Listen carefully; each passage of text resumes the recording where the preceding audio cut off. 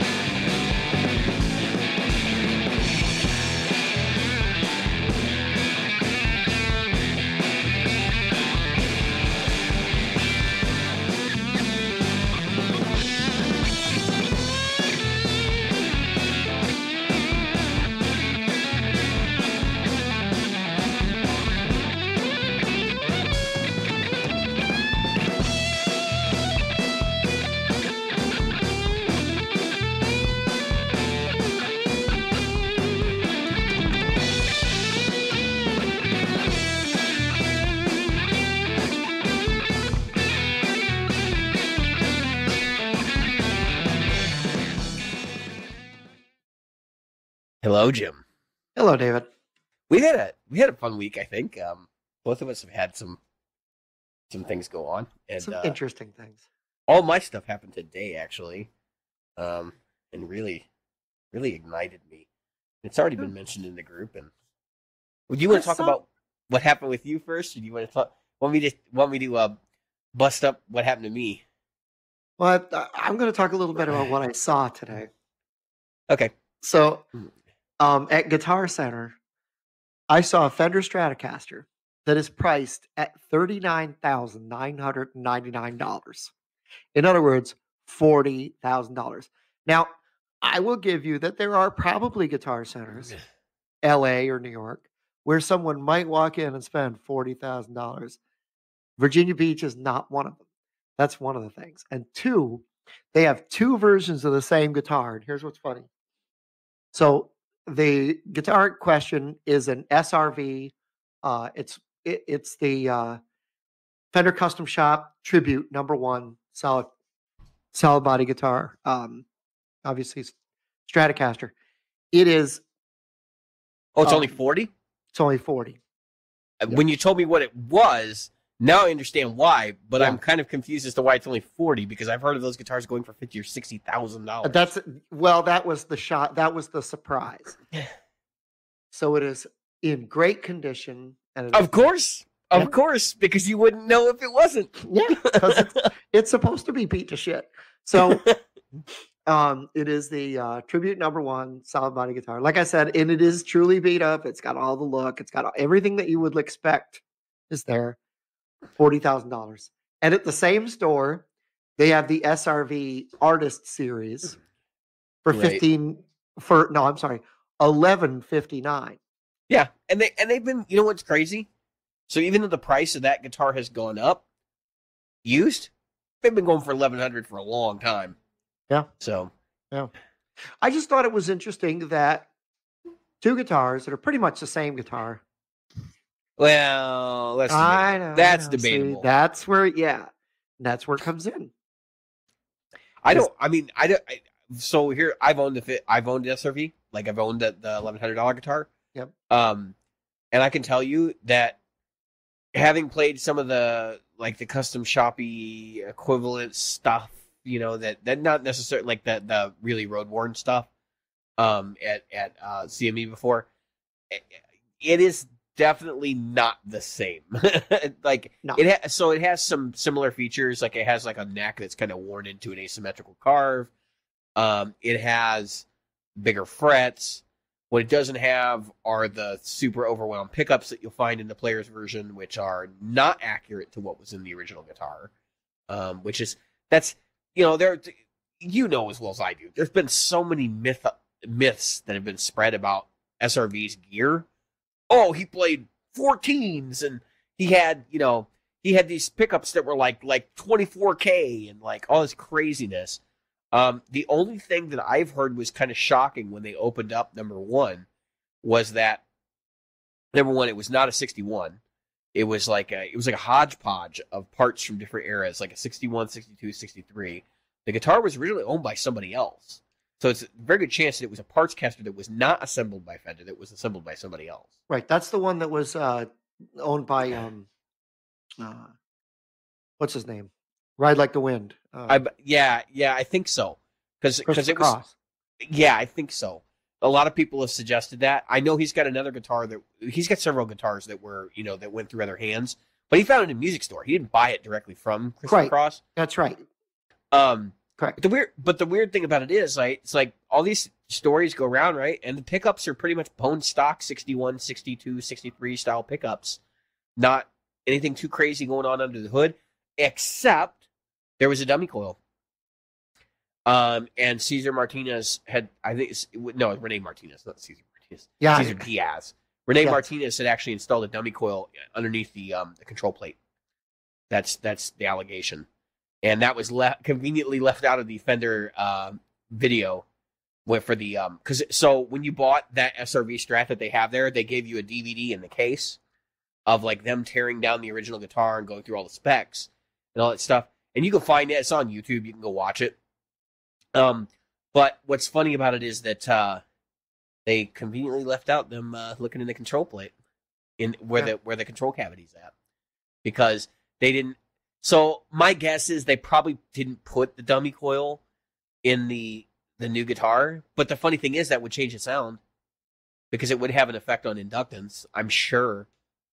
I mean, um, so I don't know. I don't think it's probably that big a deal. I don't think it's like you know mid boost or anything like that by doing that. But it's it's certainly like it it made the guitar quieter. I don't think it made the guitar silent, but it, he certainly um.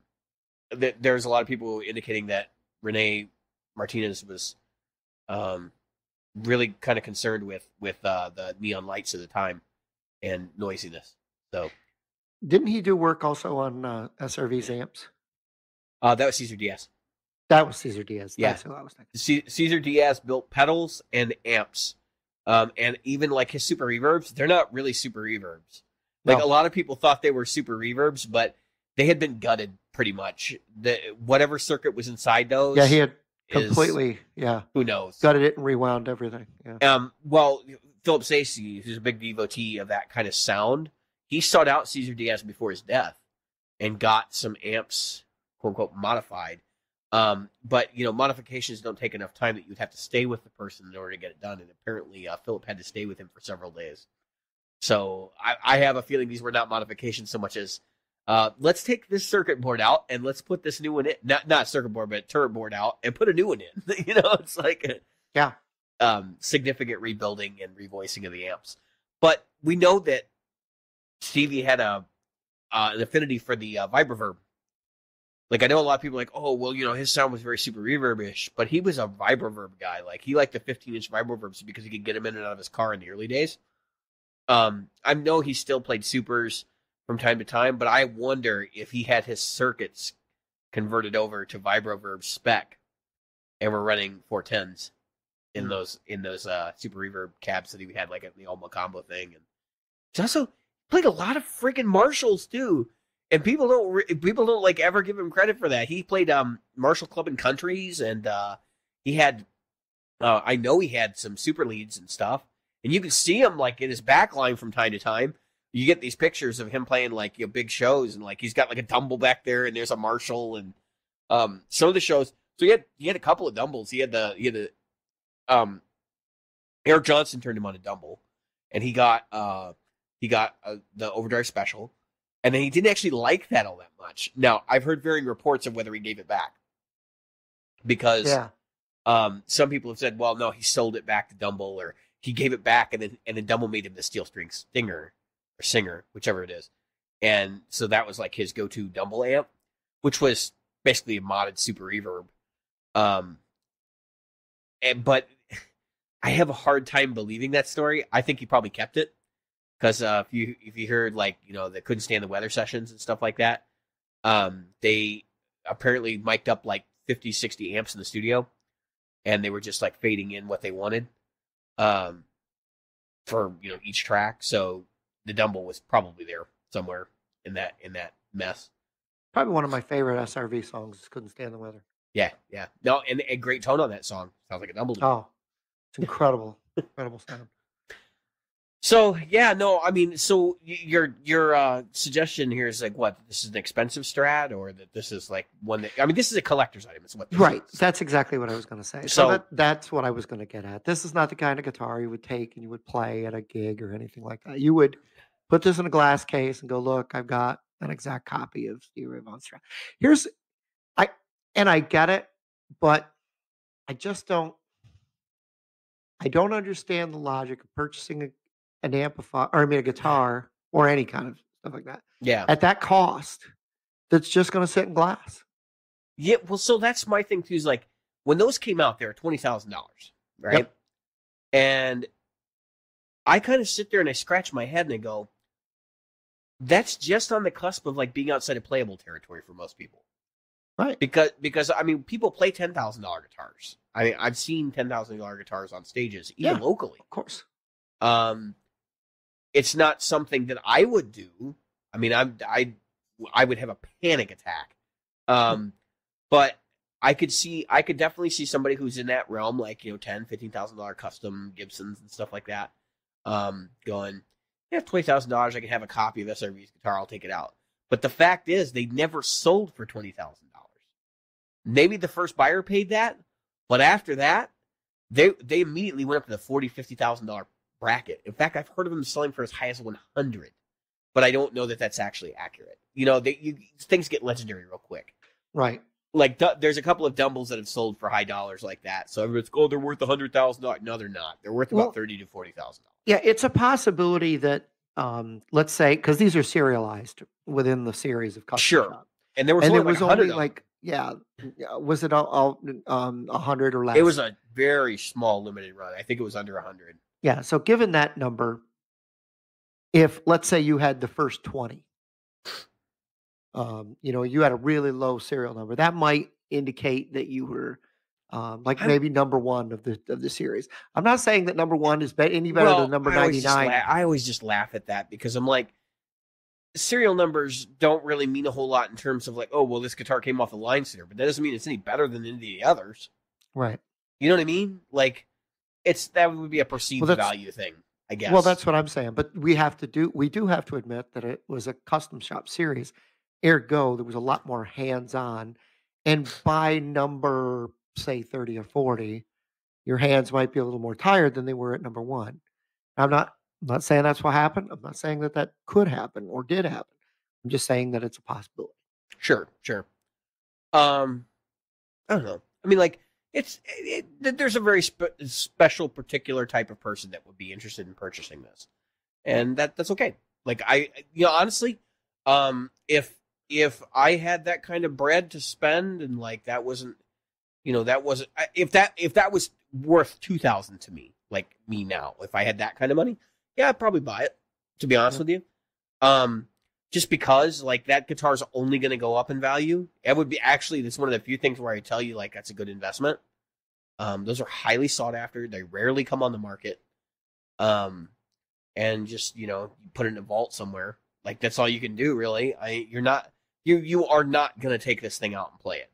Like Right. The vast majority because because the value is not twenty thousand dollars. It's fifty thousand dollars. You're not Joe Bonamassa. Bonamassa Right. could buy this and take it on stage. John Mayer could buy this and take this on stage, but the average dude, like, that's not going to happen. Even Right. even your average, you know, half million dollar, if somebody pulls down a half million dollars a year, is not going to take this on stage. No. it's just not going to happen. So, it is what it is. Yep. Cool, cool though. I'm. I, so you so you've seen it in person now. What'd you What'd you think? Is it slick looking? Because I because I thought they were. Cause I've seen one before. Um, they do look like the real deal. So the uh, the yeah, the cool thing is that uh, so um, one of the things that uh, people who have worked at Guitar Center probably know this, but um, when you when you get when they get a guitar like this in, they have to take several pictures, and they're asked to take picture after even ones they don't post, take picture after picture Yeah. after picture, and then and then there are pros who go through these pictures. They can't just take a guitar like this in Right. because they gave the person probably close to thirty thousand dollars for this guitar. Yeah, and they they have to make sure that it's legit too, because there could be a fake. You know, That's right. And and and uh, in this kind of possibility, they can't afford that kind of money to go out. You know, even though people say, "Oh, it's just this much money, guitars that can afford it." Let me tell you something. It it doesn't matter what kind of place it is. I hear that all the time. Oh, it was it was just this much money. a thirty so they thousand can a afford thirty it. thousand dollar hit could close a retail store. That's right. It easily close a, a, a full store. So anyway, um, it w- it's the real thing. Um, looks nice, feels nice. Um, is it my thing? No, I I've said before. I like I like to make something feel the way I want it to feel, and so the wear and tear on something would be my wear and tear, and not necessarily somebody else's. Uh, so um, that's why, for me, a guitar's you know, if you don't have the time to spend on a guitar, I can understand the the desire to get something like this. Um, but for me, I'd still rather wear and tear my own things. Yeah, I mean, well, and this is a guitar that's beyond broken in too. Let's let's Yeah. be realistic here. Very much guitar that's been basically. If it was anybody else's hands, it probably would have been trashed. Um, because it because that guitar had been completely mangled. Like it was. I, I- he was he had been told on the on the last tour that that neck had to be retired because it was it, couldn't take another refret. Yeah, and so he had, uh, if I correct me if I'm wrong, he had a couple of backups to this, right? He had one called Lenny. He had a well, they weren't really backups per se. It's just other guitars he had. Yeah. Um, because he so he had uh at the end he had I think it was a double humbucker Stratocaster. It was given to him by um a Luth- well, it was actually given to him by Billy Gibbons, but Billy Yep. Gibbons had it commissioned. That's the one that has SRV in the inlay. That Yep. probably would have been his replacement guitar for that because that's what he was using in place of number one on a lot of gigs. But he got about halfway through the final tour and he was like, "Uh, uh put the put they put a different neck on it." And he was playing it through most of the tour, and then he got about halfway through. He said, "No, to hell with it. You're putting that neck back on there." And then, of course, the other story, of course, is that he had been told that he was getting carpal tunnel syndrome, so he had to get away from the 13s and the high gauge Yeah. strings. So he went down to 10s. When he put the new neck back on it, he went back to 13s too, because he was like, this, "We're not, we're not doing this. It's just not working." Um, yeah, I can't imagine the wear on a set of uh, frets with 13s like that. Yeah, well, that's the thing. He had bass frets installed. He had like the big, the biggest bass frets that they could get and put on that thing. Yep. Because they were just, he would chew through it. Like I, nobody I, I know other than Steve Morse has ever had a guitar that like where the where the technician's like, no, this won't take another refret because it's gonna chew through the board too bad. Yep. Like that's that's a that's a rare thing, but being that he was using that that big a gauge of strings, like he was probably just eating frets. Oh, for lunch. for Um, lunch. So the other thing um, that did happen to me is I returned the Princeton. I could I couldn't get the volume out of it. I wanted oh, the the solid state Princeton you bought, yeah. Yep. So um, I returned that. So I'm still kind of looking around for a practice amp. I'm buying. I, I'm looking. I haven't bought one yet, but I've been looking like I. So I have an allowance, right? I have a little bit of money I, every month that I put away, and I haven't bought anything with it. Like I bought, I bought a couple of like little stupid things, but um, I'm getting to the point where I can buy a practice amp. Now I have the I have the Kemper. Kemper's great, um, but I'm looking. I want to get like a PV Rage or a PV uh, Bandit or there's a one in between. There's the Rage is the eight inch, Bandit's the the uh, twelve inch. Yep. I forget what the one in between is, but um, I've gotten both. All three of them are reverb feed. These amps are cheap, man, and they don't sound the best, but like for playing clean with a you know with a drive pedal or something, I would be fine to get through practice or rehearsals with it. And they're they're light, and if anything happens to it, I just laugh and not care. I mean that honestly, that's kind of what I'm looking for. So, um, There's a locally. There's a Roland BC 60. I might. Um, Blues Cube, yeah, those are pretty cool. Well, it's a it's a tube. No, they don't. What's? Roland's Yeah, never made. one's- No, Roland's never made a tube amp. yeah. This is a uh, tube amp. No, I'll send you a link. incorrect. Roland has never made a tube amp. That is their their uh, their tube emulation technology. Yeah. BC, the BCs. Yeah, it's not a tube amp. They look like them. That would be pretty amazing if they did. Yeah, I'll have to get. You, I'll have to get you a picture of the back end. Yeah. Um, Either that or somebody stripped that stripped out the interior and put some in it, which wouldn't be the first time somebody used a um a case. Google. Yeah, so you're talking about a BC sixty. Hmm. Pulled up. Sorry if this is uh, boring anybody who's listening. Trust me, it's gonna get real, real, uh, real raucous here in a minute. Uh, yeah, so 60 watts RMS, solid state, heavy duty 12 inch spe- speaker based on a greenback, uh, Accutronic spring reverb. Yep. Uh, Tube Logic technology. So it's not. That's yeah, solid Yeah. state. They're cool. Um, I've I've actually played a couple of those over the years, and they're- they're pretty good. I I would say um they're they're significantly better than the uh the next tone or whatever that that other thing that uh Boss is doing now. It was just kind of the same idea. Um. So anyway, moving on. Uh. Yeah, we're gonna we're gonna talk about some stuff in the group. Before we do that, we're gonna talk about uh, some audio hardware that I bought at Sweetwater Gear Fest. And uh, I mentioned this in the group this afternoon. Uh, this like, kind of all went down this afternoon, and Jim, you may you may uh, be kind of getting informed of what's going on here as part of this conversation. So I get uh, last week I started having some issues with my PreSonus uh, 1810C, which is an audio interface. It has uh, four inputs on the front, a couple more in the back. It's got SPDIF, it's got you know ADAT, it's got everything I need. Right? Um, I could run a small project studio with this thing. It would be the greatest thing in the world, but I could. Um, so I bought this thing because it has all the ins and outs I wanted on it, right? But at GearFest, um, I approached them because I'd owned another PreSonus interface prior to this that was a piece of junk, and I was really honest with the with the sales rep. I was like, "Look, dude, I'm gonna I'm gonna be brutally honest with you. I had this interface before, and it was a piece of hot garbage, and you guys didn't support it, and you didn't you didn't keep the drivers coming out for it, and I basically bought a paperweight, and it was junk, and I threw it in the garbage. Um, and he was real apologetic, and he's like, "Well, he's like, I can assure you that you know that um that that's not the case now. That every product we bring out, you know, we put a lot of support behind it. Like you have good drivers, and um, we don't have a diversified product line like we used to because of that, because they wanted to unify everything, and he just you know touchy feelies, and like I really hope that you know this works out for you, whatever. Like you know, th- thank you for considering our product. So I bought the 1810C. I'm like, I'll give him a second chance, right? So remember, um, I had a Steinberg UR22 before that, which is not the best interface for recording guitar. Uh, and there's some various reasons for that. But anyway, um, the Steinberg, like, I didn't really have any problems with it. Now, I use it with Cubase. Um, so Steinberg obviously makes Cubase. They they are part of Yamaha, Yamaha, and all that. Like, all these products are tightly integrated, right? Um, so I'm using this 1810C to record with Cubase. And That's where things started to become iffy, right? So things worked pretty well when I first got it. Um, I don't like the mix console software. It's kind of clunky and um, it's kind of hard to follow. Like having so I have this mixer software and then I have the mixer inside Cubase, and they're two separate things. And oftentimes, so basically, all the mixing for the 1810C is just monitor mixing, right? So I can mix like to going out to my to my monitors on my desk here, my headphones, and I can have three different mixes going on, and I can do all that. Or I can go into the DAW and I can record things and mix and you know do all my post stuff that would actually be printed to the track.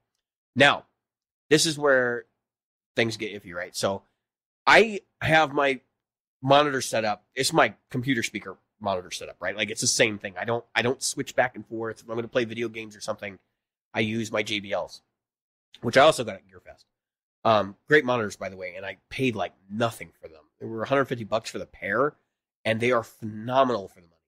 Um, but anyway, I have problems switching from Cubase to other applications and back to Cubase.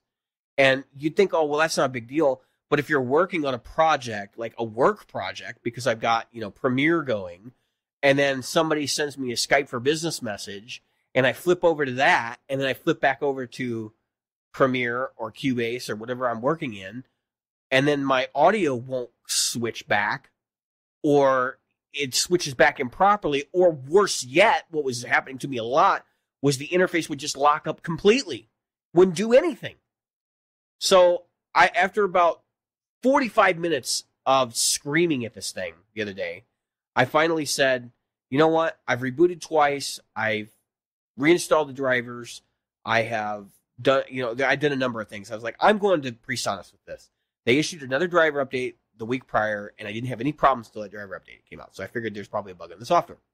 So I go to PreSonus and I write this message uh, in a ticket. I say, when switching from DAW back to Windows and back again, which in this case is Cubase Pro 10, it is constantly causing Windows to be unable to send audio through the device.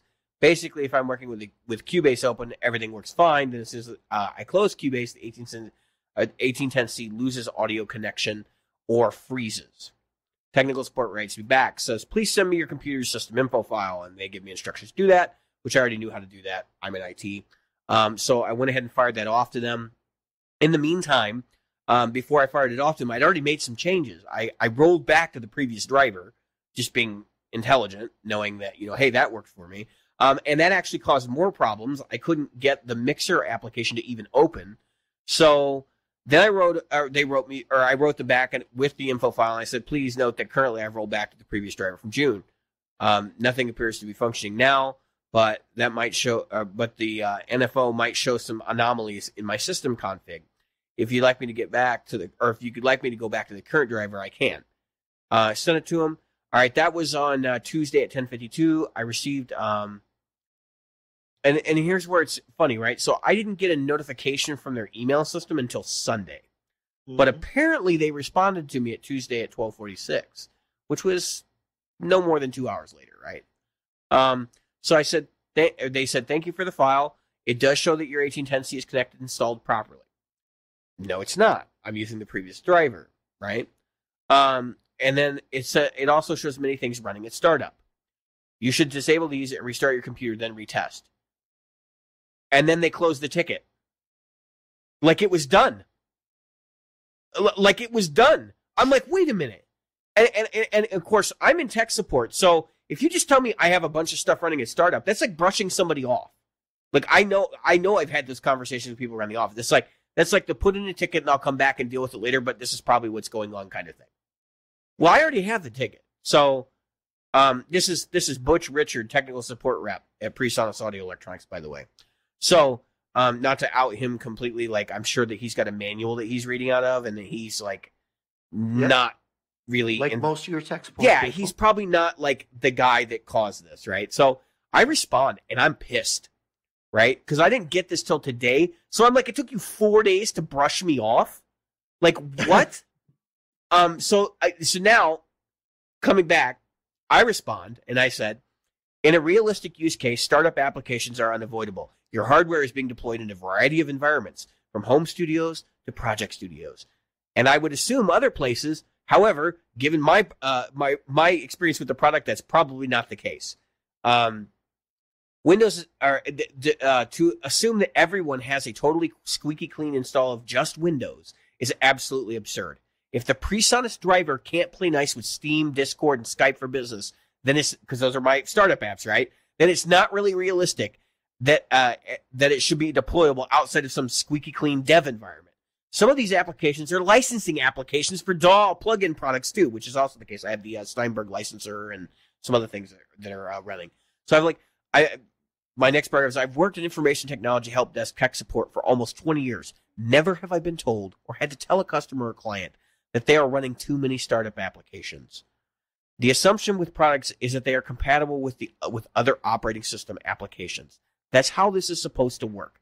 Usually, you might have a log of known conflicts, and you can give specifics rather than generalize.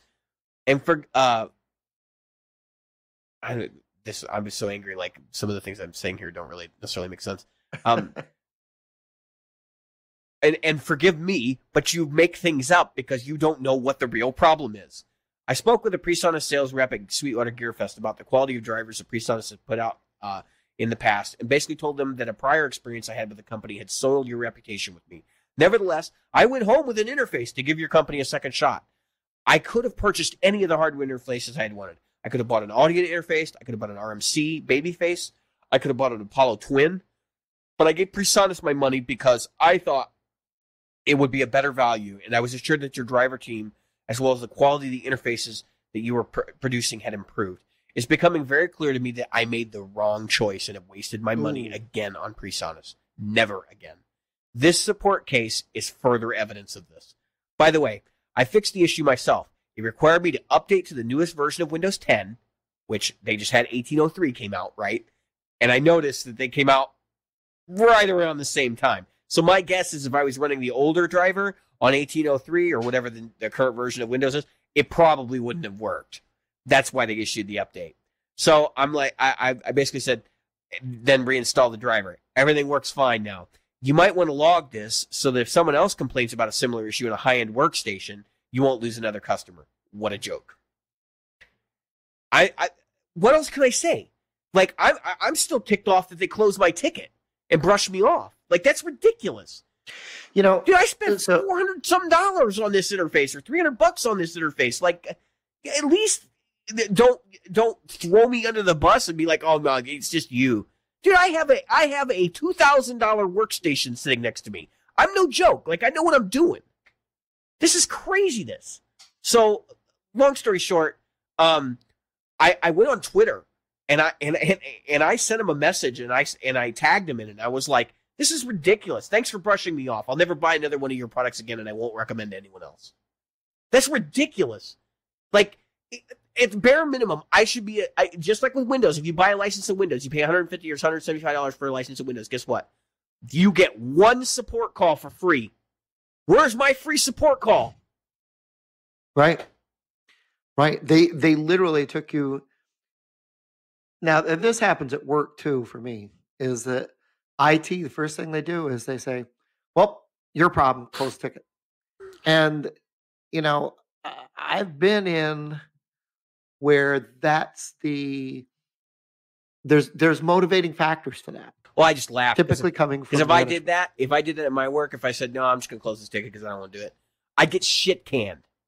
Oh yeah, but that's because they know you. You're a you're a you're an you're a face in the crowd, right? And they don't they don't care, right? This is ridiculous. So that's fine. I'm gonna um I'm gonna crank this up the ladder, and I'm gonna probably keep squawking until they shut me up somehow.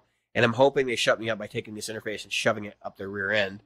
Um, well, so that I don't think you'll get that. Uh, you I might get a replacement, I, or um, not a replacement, but a, um, you might get a return. I don't. I'm not. A, look, I don't want another 1810C if they're going to send it. I just keep the one I got. But because uh, it works fine, like as long as the drivers work. And and and so Robert Jackson commented on my thread in the group about this, and he goes, um, he goes, I've had good experiences with their customer support, and I'm like, I, you know, I, I, but he said that was for Studio One, and I'm thinking, yeah, I'll bet you if I was running this on Studio One, they'd be like, oh, we can help you, we're, we're going to help you as much as we can, like we'll do everything we can for you, because they're not selling hardware. You know what they're selling? They're selling Studio One, is what they're selling. And I'm sorry, but like Studio One was not even a DAW that anyone cared about five years ago. It was it, it has developed quickly and rapidly, but mm-hmm. I'm sorry, but a product like Cubase, which has been around for almost 20 years, is far more mature. Um, now, granted, I'm not a huge Cubase fan either. Like, I've switched away from that application several times because I don't I don't feel that it is set up for people who need to be able to record quickly. Um, and and to capture the moment. It's very much like a let's set up your project, let's set up your ins and outs, let's record some tracks. You know, it's like it's very like an arduous task. You almost have to like rethink the way that you do things, um, instead of just plugging it in, you know, hitting record. Um, so I don't know. I I'm look, I, I'm willing to try Studio One. I have a license of it now. I mean, I bought this thing. I have uh I have various plugin licenses that go with it. I'm not mad. Like let, let me be, let me be very frank here. I'm not mad with Sweetwater. Um, actually, my Sweetwater at Brant Miller uh, steered me towards several other interfaces that I probably should have purchased. Um, but I I didn't want to spend the extra money. I was already dropping like an insane amount, and I was like, I only need this for like a year or two, and then I can get a really nice interface, and hopefully I'll be in a house at that point, and like I'll be able to like set up a real studio, and you know so I'm kind of like, I'm I'm I'm frustrated with myself, but I'm not because I know I can get through with this thing. I have a backup interface. I have the UR22 underneath the desk. It doesn't have SPDIF. It doesn't have ADAT. So I'd have to figure something out as far as that's concerned. But it's not that big a deal. It, this is not this is not the end of the world for me. I just I'm frustrated because it's like you buy a product, especially a software or hardware product like this, which is which is high tech. I mean, let's face it nobody knows a whole lot about what goes underneath the hood of these except for the engineers that design them. Um, and I'm just kind of like flabbergasted because it's, you know, what other recourse would I have? if the driver they they put out for this thing was no longer compatible with the current version of Windows, you, there's nothing you can do with it. It's junk. Um, so you're at their mercy. Like this, this is that's why I said like when you buy, and I think I've mentioned this on the show before. When you buy an interface, one of the really difficult things that you have to you have to consider is that you're not just buying the hardware, you're buying the software too, because the drivers that are are, are often more important than the physical hardware. Um, so they uh, long long story short, um, I've been I've been kind of pissy about UAD products. Um, I've been skeptical. Uh, they're a walled garden. There's some things I don't like about them, but I'll tell you what: everybody at Sweetwater was using UAD. Um, all the uh, the sessions and stuff I was seeing were done with UADs, um, and they sound really. They just sound fine. They're not super expensive. You can use them with a ghetto laptop that has like no hardware in it. Um, which that's kind of a benefit. You spend eight hundred dollars on your interface, and you got you can plug it into a four hundred dollar laptop, and it sounds fine. So I, I may go UAD before it's over with. I hate the walled garden thing, but I'm in the middle of one right now. I got a Kemper, so might as well. well, you know, when you buy when you buy a device that is, uh, you know, um, what's the word I want? When you're buying a device that is that is um, software driven, that's where you that is where you wind up. The the cl- the closest thing I can consider is like buying a cell phone. Because yep. you, I mean, when you buy an Android phone, like your Google or Samsung or whoever's Mercy, for for software updates and product updates and security fixes and all these different things, and it's no different when you buy an audio interface. This is not like buying a, an old analog console. You know, you don't buy it and then that's it. It's there, there's this relationship that has to happen between you and the company, and I mean, I they, they just soiled me really bad. Like that was not the appropriate way to handle this conversation. What they should have said was like, well, you know, we don't really support Cubase because I know what was really going on. They heard Cubase and they were like, no, we're not touching this. And it's like, fine, then just say that. Be like, you know what? We would highly recommend that you look at Studio One, and if you're having problems with it, you know, switching back and forth from Studio One, then you know, then we can start to diagnose the problem a little bit better or or right. even some or even something as simple as like look you know um, make sure that your windows os is up to date. They do have an nfo file so they can see what version i'm running. Because um, obviously they they pumped out this driver update because something was not working properly you know in the mismatch. So i don't i don't know. I'm not like that's another thing. Nobody communicates especially with the hardware vendors. I have never seen a, a driver release notes for um, like PreSonus or anything like that because they don't want to admit what the bugs are. you know, when oh, I of course not. when when Helix issues an update, right? Like, so they came out with their big update a couple weeks ago. Um, yeah, two point eight finally dropped, and um, when it came out, like they had a release notes, and you could read the release notes, but you don't see that for bug fix releases and drivers, or if you do, they hide it. You know, they don't want you to see that that that text file somewhere that tells you like this is what we fixed um, or you know this is what we addressed. May not be a fix; it may be something they had to modify due to you know updates in Windows OS, etc. But you know right. that's that's what gets me is like this was about really I can tell you what the problem was. So this was about the um, PreSonus switching from the ASIO driver to like a WDM driver or the regular Windows Core driver, and then switching back to ASIO when I would click on on uh, um, when I would click on the Cubase window. But actually, what was really funny was that it works fine when Cubase is open, which tells you that Cubase does something with that switch. And that when you close Cubase, if you don't have it switched to the to the you know whatever's going on in the background, it doesn't switch properly. And then the then the the interface is just like I don't know what to do. Like I was I was in ASIO mode. Like hey, um. So it's there's something funky going on there, but it's working now. I'm not complaining about that. Like, I just wish that they had handled the case with me better. I would love for them to take this thing back. To be honest with you, because I would take the uh, the three hundred bucks or whatever I spent on it. I think it was three hundred forty with the with the sale deal, and go and get um go and get a um uh, a UAD or something. Because because this was just like I bought this as a stopgap, and I was hoping that that that PreSonus would really fix it. Because I looked at the competitors. I mean, look, what else am I going to buy? I'm going to buy a Focusrite Scarlett. You know, um, because I need SPDIF. Like that's that's the main thing, and this had SPDIF built in. I didn't have to have a converter because you can go from I guess ADAT to SPDIF. There are converter boxes, but I just I'm like I don't really want to have to buy like a forty dollar converter box off of Amazon that's made in China and who God knows what it's doing to the signal, you know. Um, but maybe that's the route I end up going. So SPDIF is pretty much dinosaur age right now. Like I'm surprised that uh, Kemper is still trucking with the SPDIF connection. Oh, Yeah, that's, we did talk about the Kemper stage last week. Um, it's out now. Um, hits the streets this week. yeah. No, I actually think it's already hit the streets. Some people have them already. Oh, really? Yeah, they were out. They were out during the announcement. Um, British Audio was selling them, and uh, Well, Sweetwater's got them, but they're already yeah, they're sold out. they blew have out of them. them like immediately, and I wouldn't be surprised if they didn't sell them all to staff. Um, but yeah, so you know, I'm I'm not like the, the big joke right now is of course, oh, you could still you'll spill beer on it. Spill beer on the other one. Oh, well, the remote's cheaper. You can always replace the remote. if You spill beer on it. Um, I don't think anybody wants to spend four hundred dollars to replace the remote if somebody spills beer on it. You know what I mean? Like that doesn't Yeah, make any not exactly- sense. yeah. I don't. I, I just don't care. Like I came from the Helix world. Like we lived with that. You know, somebody could spill beer on it. So what?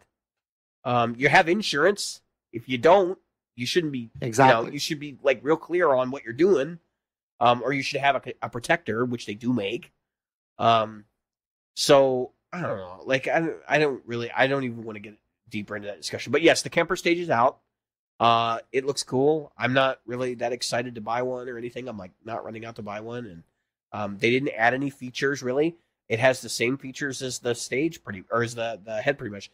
Although Well- it does have a new firmware, which means we will be getting a new firmware soon too.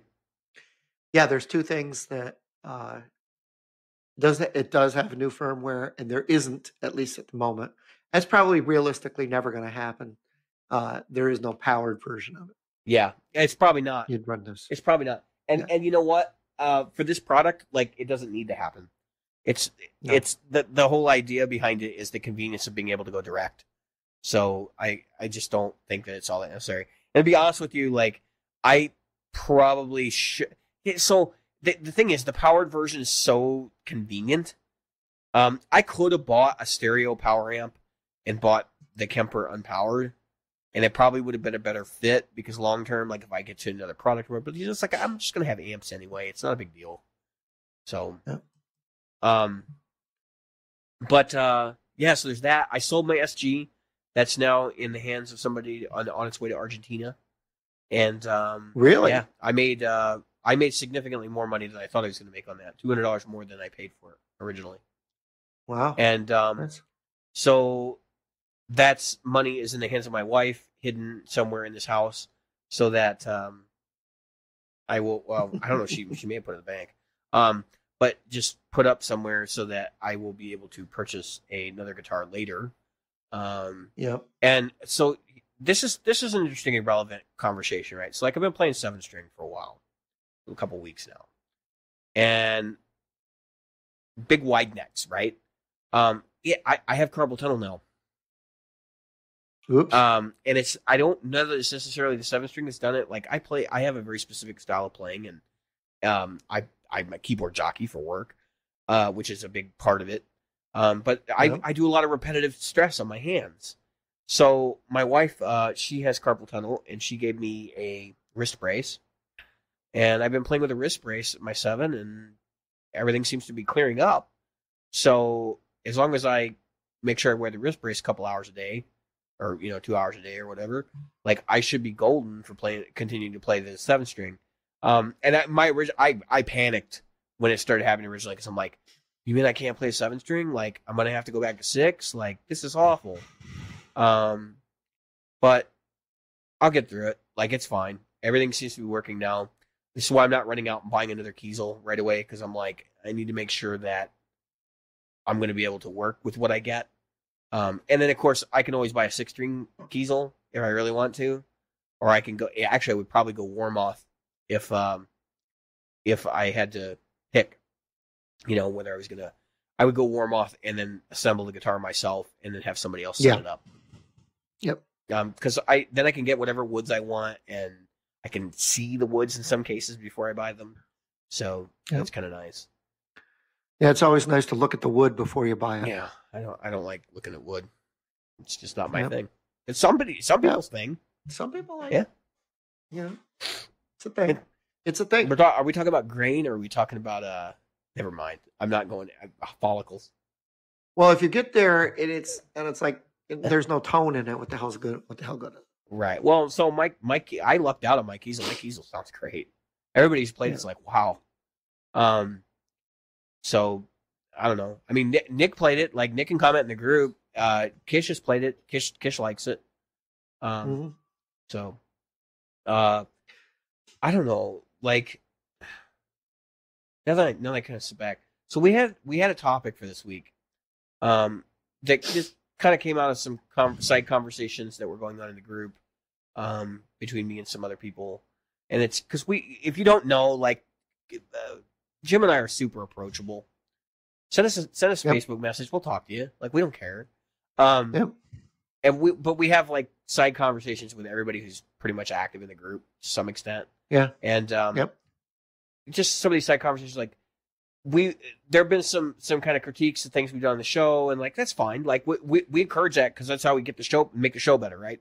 Um but Yeah. but I wanted to talk about what our audience is because I think we've I think we've scratched the surface on this before and then we'll kind of parlay this into the, you know like audiences at musical events and then we have some other topics we're going to drive off that um but what is it jim what do you what would you characterize our audience i know we're on the same page with this so i can let you talk for a while i'm, I'm starting to my i'm getting hoarse I think that the um, the majority of our audience um, is practical in a lot of different ways. We've talked about frugality, is that's a word, being frugal. Uh, we've also talked about um, uh, some of the things that people do.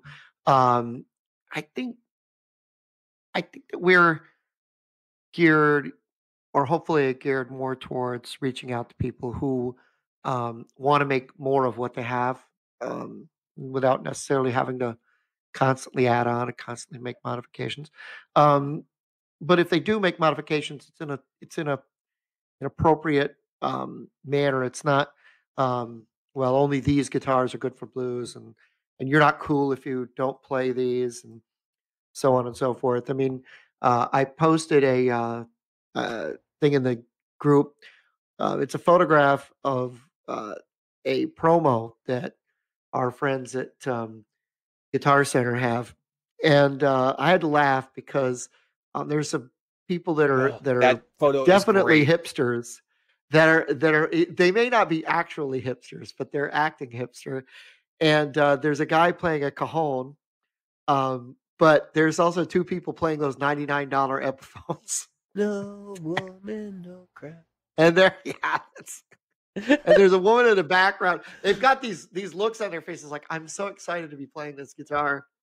And then there's a there's a woman in the background. She's standing behind a keyboard would make this look like look at me i'm having so much fun.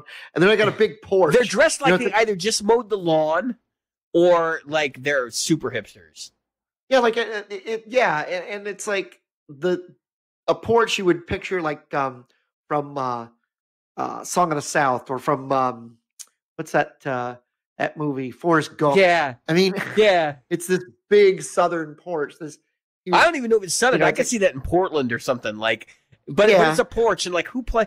Who has their band come out and practice on the porch? Like, in all honesty, like this th- this photograph should have been in a garage. It should have been a well manicured garage, but a garage. right. Right. I just thought it was pretty funny. Um That uh, the cops And, showed uh, up but shortly think- thereafter and issued them all citations for being too loud. Yeah. I I don't think that that- I'm not saying that people who play like that aren't in our audience, but I don't think that's the crux of our audience. I think our our audience. I'm hoping that we've been um, targeting folks who um, just want to do their own thing, and they're not worried about falling into, um, you know, uh, a well-defined um, silo of this is the kind of music I play, or this is the kind of thing I do, or whatever. Um, I and they're looking to get somewhere with guitar. I don't know if that makes sense. I, I my response to somebody who actually we were talking about this with, I said I um I want to make it clear that we accept all people with an open mind who play guitar, meaning people who actually care about their instrument. Um, we are not a gear cast as much as a guitar podcast, and we want to include people who love the instrument in a positive, non-confrontational, forward way. We are not about stirring up trouble or creating controversy for confrontation's sake. We don't care uh, who you are, man, woman, Right. old, young, other, straight, gay, smart, stupid, human, or extraterrestrial. If you love guitar, that's who we try to speak to. right? And I, Yeah, I think honestly, like I, it's good writing, but I, I, I'm tooting my own horn. It's probably terrible writing. Um, but I, I wrote that the other day, and I and I read it a couple times after I said it, and I went, no, I have to say this. Like this, this needs to be said this way, which is that yeah, there's a little bit of humor in there, but I mean that kind of like reflects the show. We're, we're infotainment, um, but for the most part, like we're, Well- we're totally acceptable. If you're a hipster and you like our show, like uh, by all means, um, participate in the group. If- we, we we like to be challenged. if you're an Area 51 resident and you want to be um, with the group, then hey, So this con this here. concept, this is this modern concept of the echo chamber, right? And I think um I think we have a tendency if we're in gear groups. I, I'm in a lot of gear podcast groups, right? So I'm not gonna I'm not gonna say that like that hasn't tainted my opinion in some of this, but the other groups I'm a part of are like the Helix group and the Kemper KPA group and um some of the P Dubs groups, which I don't play that music, but I'm interested in it. Um all of these groups that I'm a part of, uh, I see like fanboyism and stuff going on really bad, and like it, the, the cultures in them are are very strong, and they will strong arm people in or out, like one way or the other, and it's it's um, it can be a really confrontational culture, and we don't want that. Uh, I don't want an echo chamber either, though, and that's that's what you get in like the the line six group. Is like, oh, the Helix comes out, and everybody makes a bu- bunch of jokes about the Helix stage, but I'm sitting there laughing because I'm like, do you know that like probably ten percent of the people in this group are considering buying the Helix or the uh, the Kemper stage, and and ten percent of the people over in the Kemper group are looking at buying the the Helix. So y- y- your your core audience changes, and and the way that you perceive each other changes, and like those people get thrown under the bus if they say something, so they keep their mouths shut. And there's a whole like a lot of this stuff going on. I'm just sitting there kind of like scratching my head and I'm going, this fanboyism stuff needs to stop. Like, how are we ever supposed to? Um, it it, it takes comp- uh, competition out of the equation for equipment. Do you know what I mean? the hu- I think that the uh, this is my take on it, and folks, if you if you don't agree with me, you know that's that's fine. I, uh, you can We're not an echo you chamber. voice your opinions, but right, I think if you're if you're looking for an echo chamber, then just look in the mirror and say stuff, You- and You'll be much happier. wait for it to come back, and then respond. because and that's right because if everybody's going to agree with you all the time then that's just great for you but what is that well, from a from a product standpoint, it's awful because if you think about it. So, like, if you if you let's say you remember the Helix group, right? Because this is the and this is the real world case I'll give. Um, actually, let's let's make it more interesting. I'm a member of the Katana group as well, and the Katana group is hilarious, and I've talked about this before. But they they they'll say things like, "Oh, I sold my Bogner Ecstasy 101B, which is like a four thousand dollar amp, and the cabinet, which is a thousand bucks, to get my Katana 50 watt uh, combo." No, you didn't. No, you didn't. Quit it. Like everybody knows you're full of crap, right? So why would you say something like that? Everybody knows you've never owned that, or if you did, you sold it because you had to pay for a car, you know, or something like that. right you had yeah you had bills just be honest hey i had to get Yeah, out of it no one to cares. Nobody's gonna- Ostracize you for that. In fact, if anything, it says a lot about the katana that you know you used to own this, but you had to get rid of it. So what did you do? You didn't downsize to a Marshall. You bought a katana instead. Like there's there's something to be said about that. But anyway, my, my point is, so if you're in the if you're in the Helix group, right, and everybody's like, oh, everything else sucks, and you're not really open minded to what other people are doing, and you don't really realize it's an echo chamber, which is which is why echo chambers are dangerous because you have to keep in mind that the, that you know this is a Helix centric group, um, and a lot of people don't. All of a sudden, like the the Axe-Fx sucks, Anything that Fractal puts out sucks, and anything that Kemper does sucks.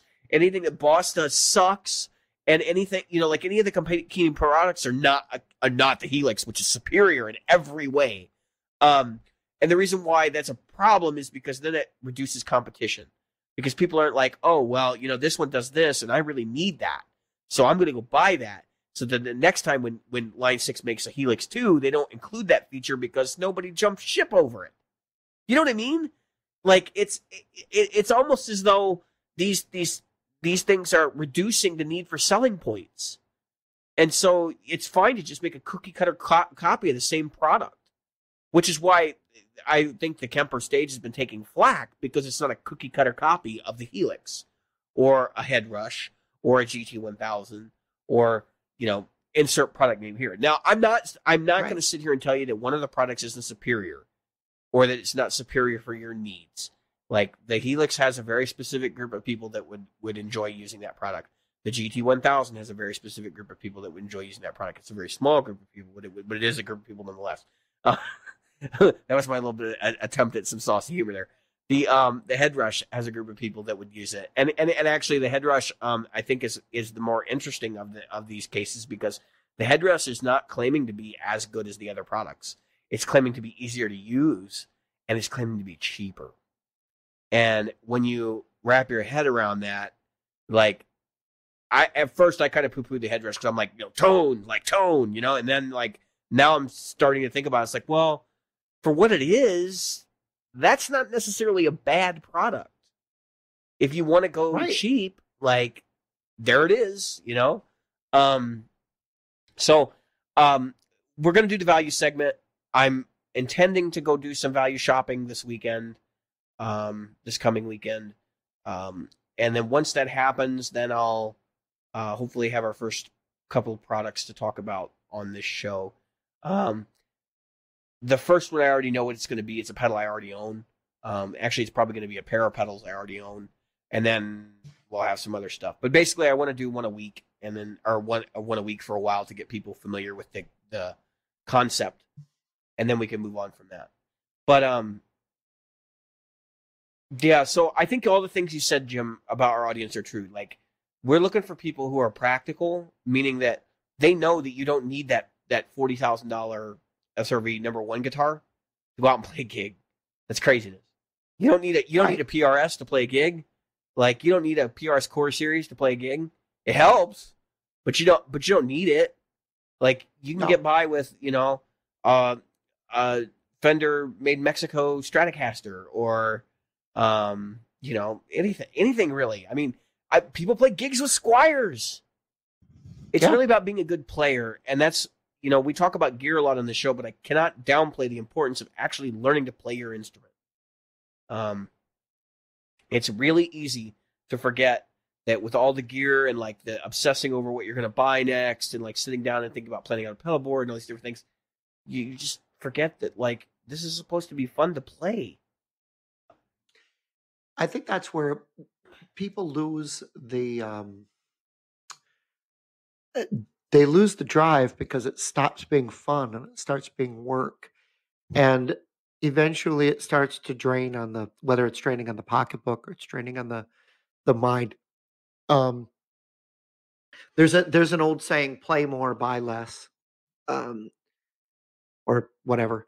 And the thing is that if you're if you're sitting down and um, learning to play, which we used to talk about a lot, and we're moving back in that towards that direction. Um, that's where we want to be is focusing on okay, how can we better give you, the listener, um, different things about playing? Like uh, David, you posted uh, a thing that you had written. You composed. Yeah, gear. Uh, well, gear Gnosticism. You know, like even if we're going to talk about gear, like we talk about it in a like, let's not focus on a specific piece that you should be buying, but like more general. Like, okay, let's talk right. about overdrives and how they work. You know right. what they do. Um, we've had this conversation before, but yeah, no, like exactly posting, you know, music examples and things like that. Um, yep. we Jim and I practice this stuff. Like Jim actually goes out and plays gigs and hosts open mics and everything else and falls off stages. And uh, Hurts himself. and uh, I I get out from time to time, and I I do a lot of recording around the house, and uh, I write a lot of music, and you know we need to get back to that core of um of what the Yeah. show's about, and talk stop talking about uh you know these old man brands like like Gibson and Fender. Right. Which we're not talking about. what what And then I'm not and and today's thing about pointing out that guitar isn't talking about oh Fender Fender custom shop. You've done blah, a 'cause that complete. I, I have to point out though, Jim. You've done a complete 180 since we started this show. You were all Pips, PRS Gibson, all right, Pibson. Yep. Um, in the beginning, and Matter of fact, I I had a Pibson early on. I had a Mr. Pibson. It was uh A I- got pepper it flavored at drink. 7-Eleven. Yeah, uh, I love Mr. Pibson. so anyway, he's a he's a Pipson guy in the beginning of the show, and now what are you playing, Jim? Do you own a Gibson?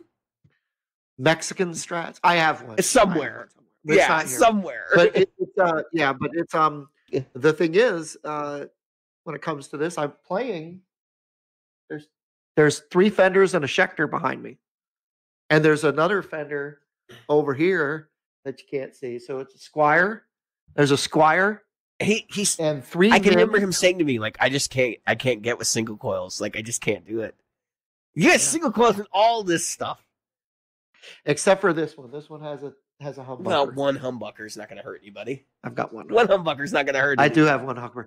I can say this though, when it comes to the humbucker, the problem, eh, okay, the problem is either you should either play humbuckers or play single coils, and this is why I say this. And I know you people that are that are doing both. I do. It's really hard to tame the animal, tame the beast, when it comes to the humbucker. If you just switch out, I mean, you could do it, but you got to have your settings ready. You know that. what? You know what I do, Jim? This is going to be a weird like concept for you. Go ahead. I finish your part first, and then I'll tell you what I do.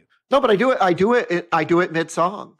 A lot of times, I just use the humbucker as a lead tone, and so it's funny because I'm using the neck pickup that that There you go. You got it. background there, and then I switch to the um, bridge and I go into a lead tone, and then I come back out.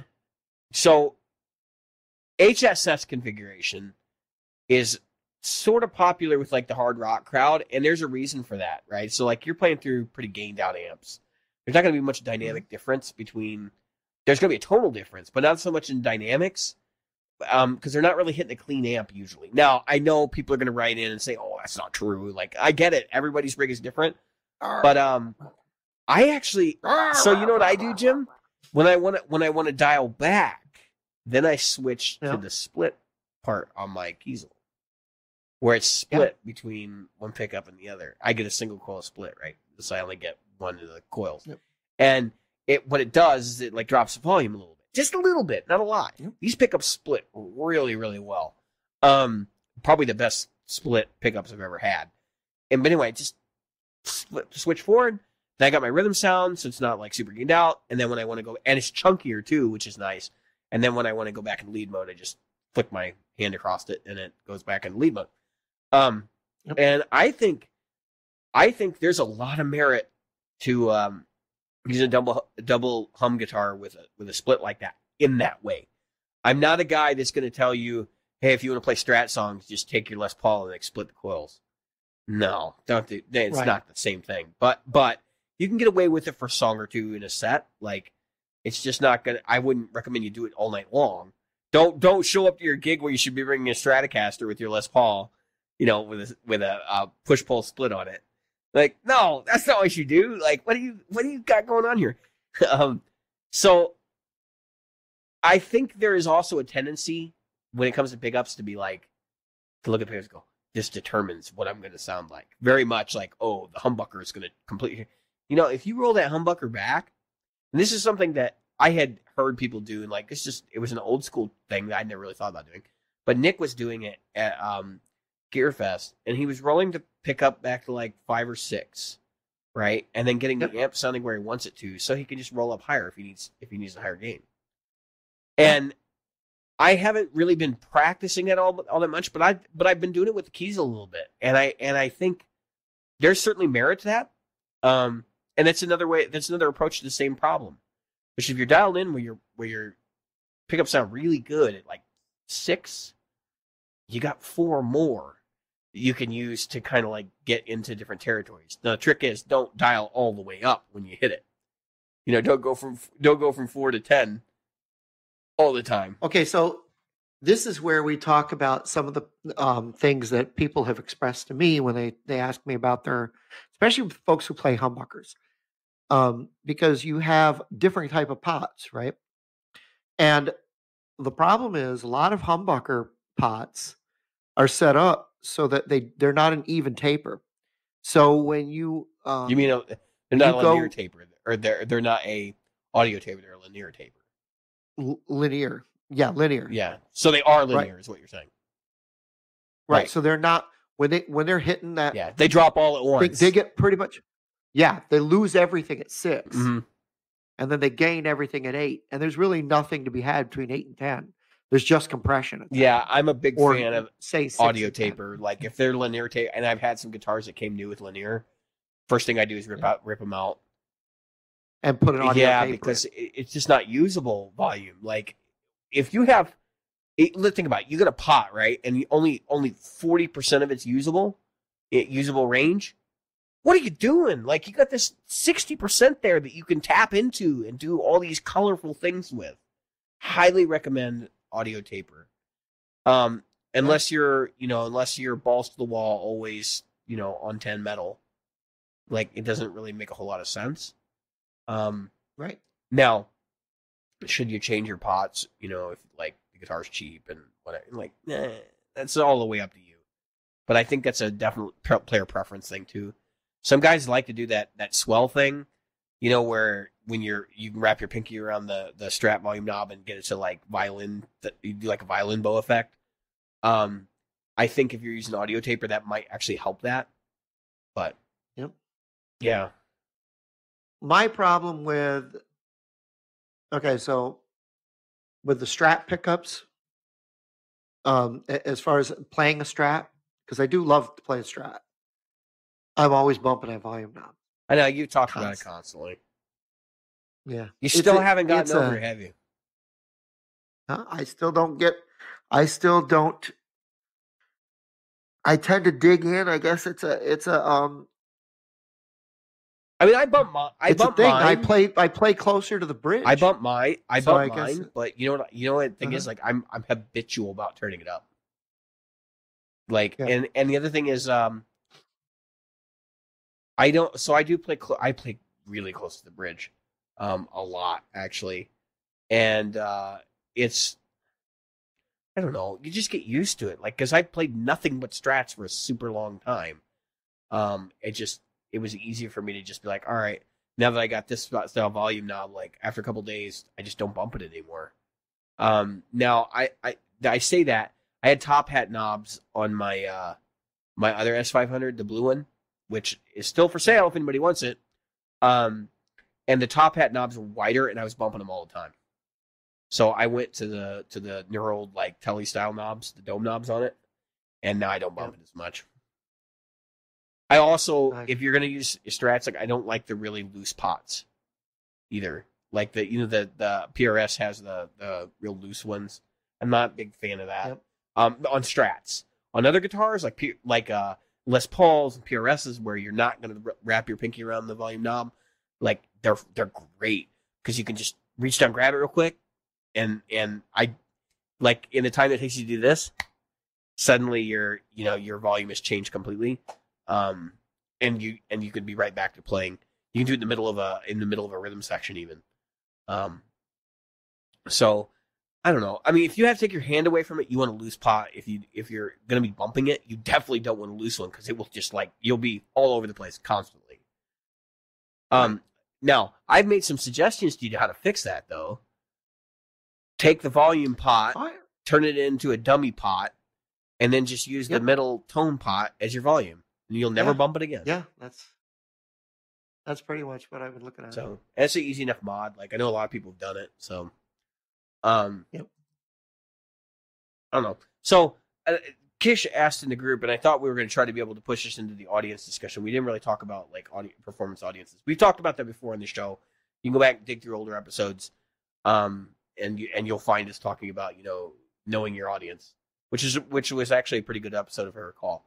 Um, all our episodes are good episodes, right? Like, you should listen to everything in our back catalog. I'm sure there's nothing in there that's That's garbage. correct. The first 20 That's right. Are the best material we've ever. No, they're not the best material we've ever done. Um, actually, I- if you just want to skip the first 20 or so, like that's cool. Like we're good with that. You know what's crazy, Jim? I look at our statistics. We still got people listening to like early episodes. Like, what are you doing? Why? Isn't that awesome? It's good. It's good. awesome? I hope that people listen to like a couple of the new ones first and then go back because if you listen to like number one, you're not going to listen to this show. it's just not going to Probably happen. not. Um, so I've been told lately, uh, actually, a friend of mine's starting a podcast for his work, and he was like, listen to my show, and he goes, um, he goes, you know, you you are born to be a podcaster. And I said, and I thought to myself, like, is that like an insult? Is that like, You're not. Yeah, you're not sure. like, is, it, is that a good? is that good, or is that a- like, is that like, you know, did I break it?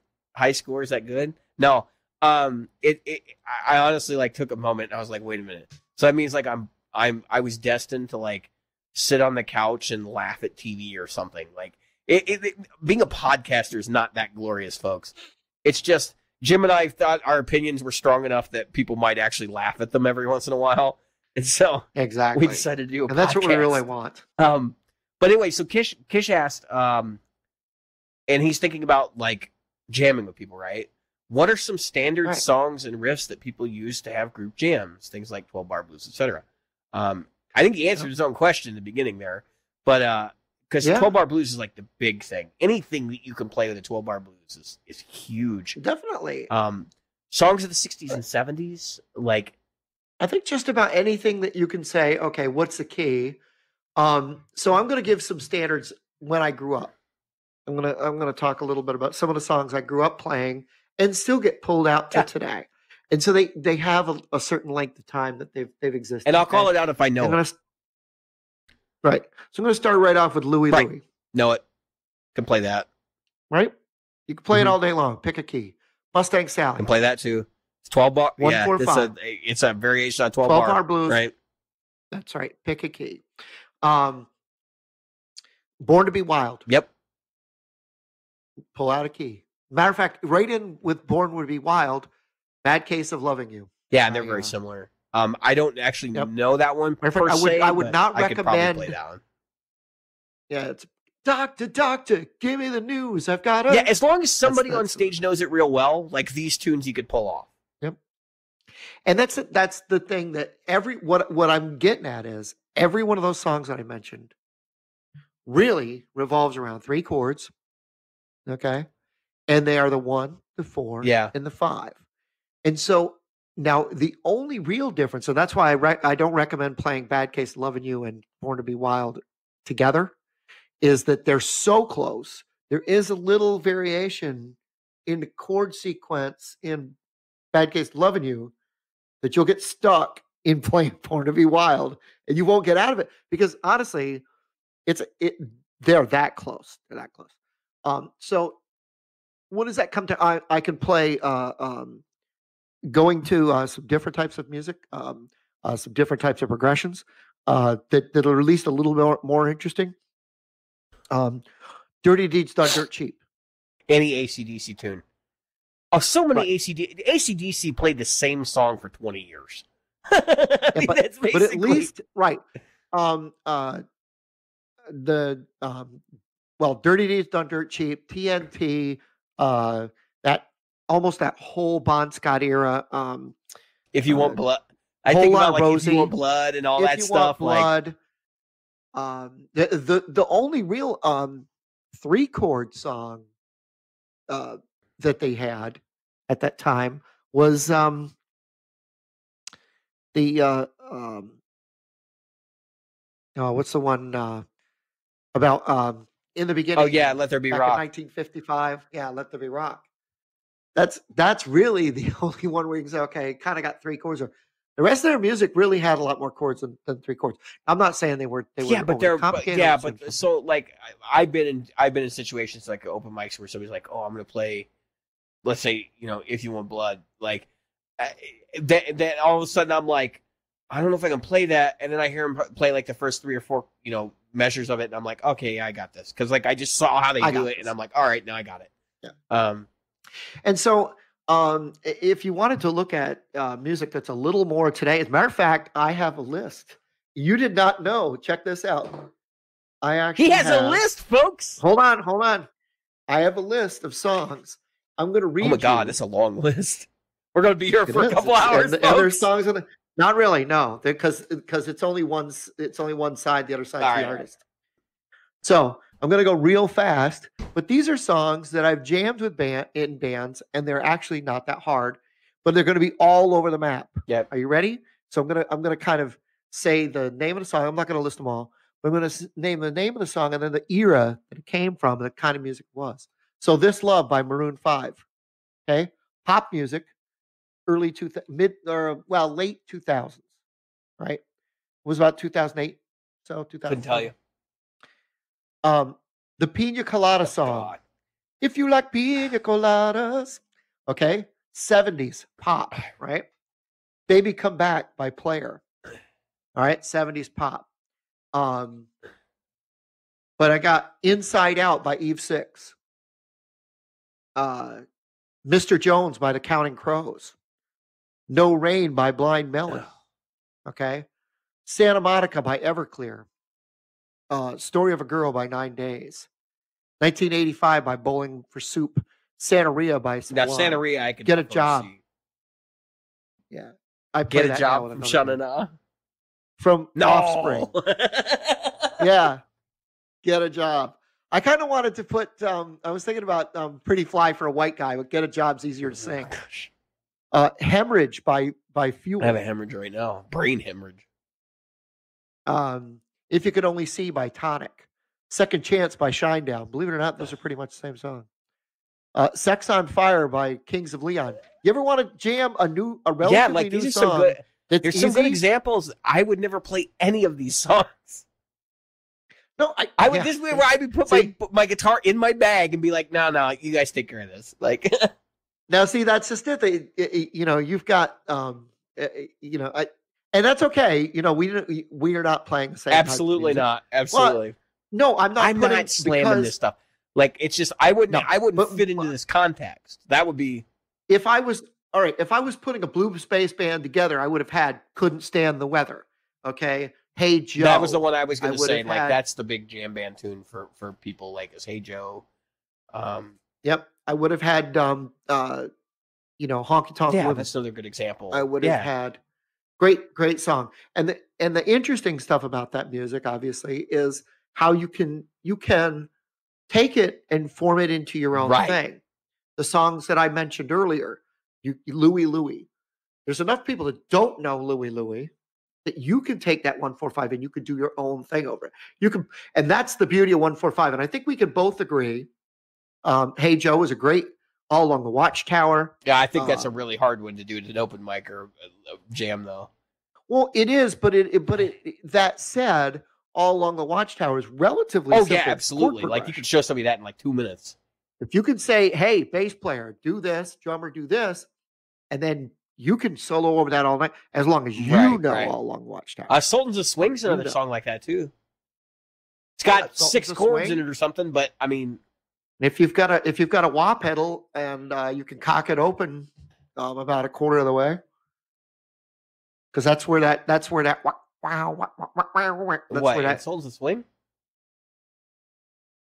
I don't think so. Oh no, I was thinking of uh, I was thinking of Some uh, of the other songs like Walk of Life and No. What's the one? Down, down, down, down I down, down, down, bow. uh, I like Dire Straits, but Look at that. Oh, uh, Money money, for for, Nothing. nothing. Yeah, that's, that's the one I was thinking.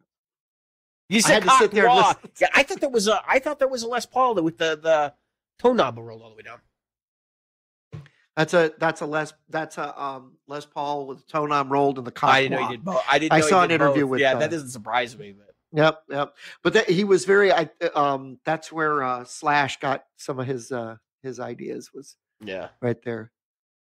But but anyway, what I'm saying is, um, and I, and I, obviously you need to jump in because I'll I'll show you these two albums I was listening. No, to I think- So I, I want to start off and just tell everybody like where Jim's at with these selections are great.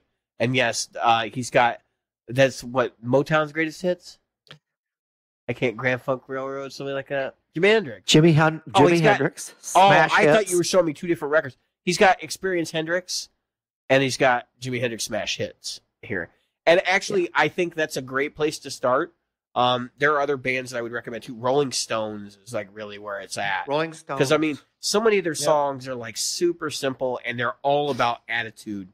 And if you're gonna play like you're gonna, you know, try to ham it up and sing and like do simple guitar work, like that's really where you should be where you should be looking. Um, I think about things like uh, Monkey Man and stuff like that. They're not complicated songs, but if you can pull them off, they they are great. Um, if you're gonna just play with friends, uh, obviously Little Wing is probably I- I've heard many people who are very much better guitar players than me say that's their favorite song to jam with other people over because the chords are not typical, but they're but No. they like they they lead to some very interesting things happening. Um, I like um, Hey Joe. I like uh even like Crosstown Traffic and stuff like that. Um, oh, yeah, and and so like any anything Jimi Hendrix is gonna be like perfect for me. I'm a huge Hendrix nut anyway. But uh actually I've had good success playing like Guns N' Roses songs with people too.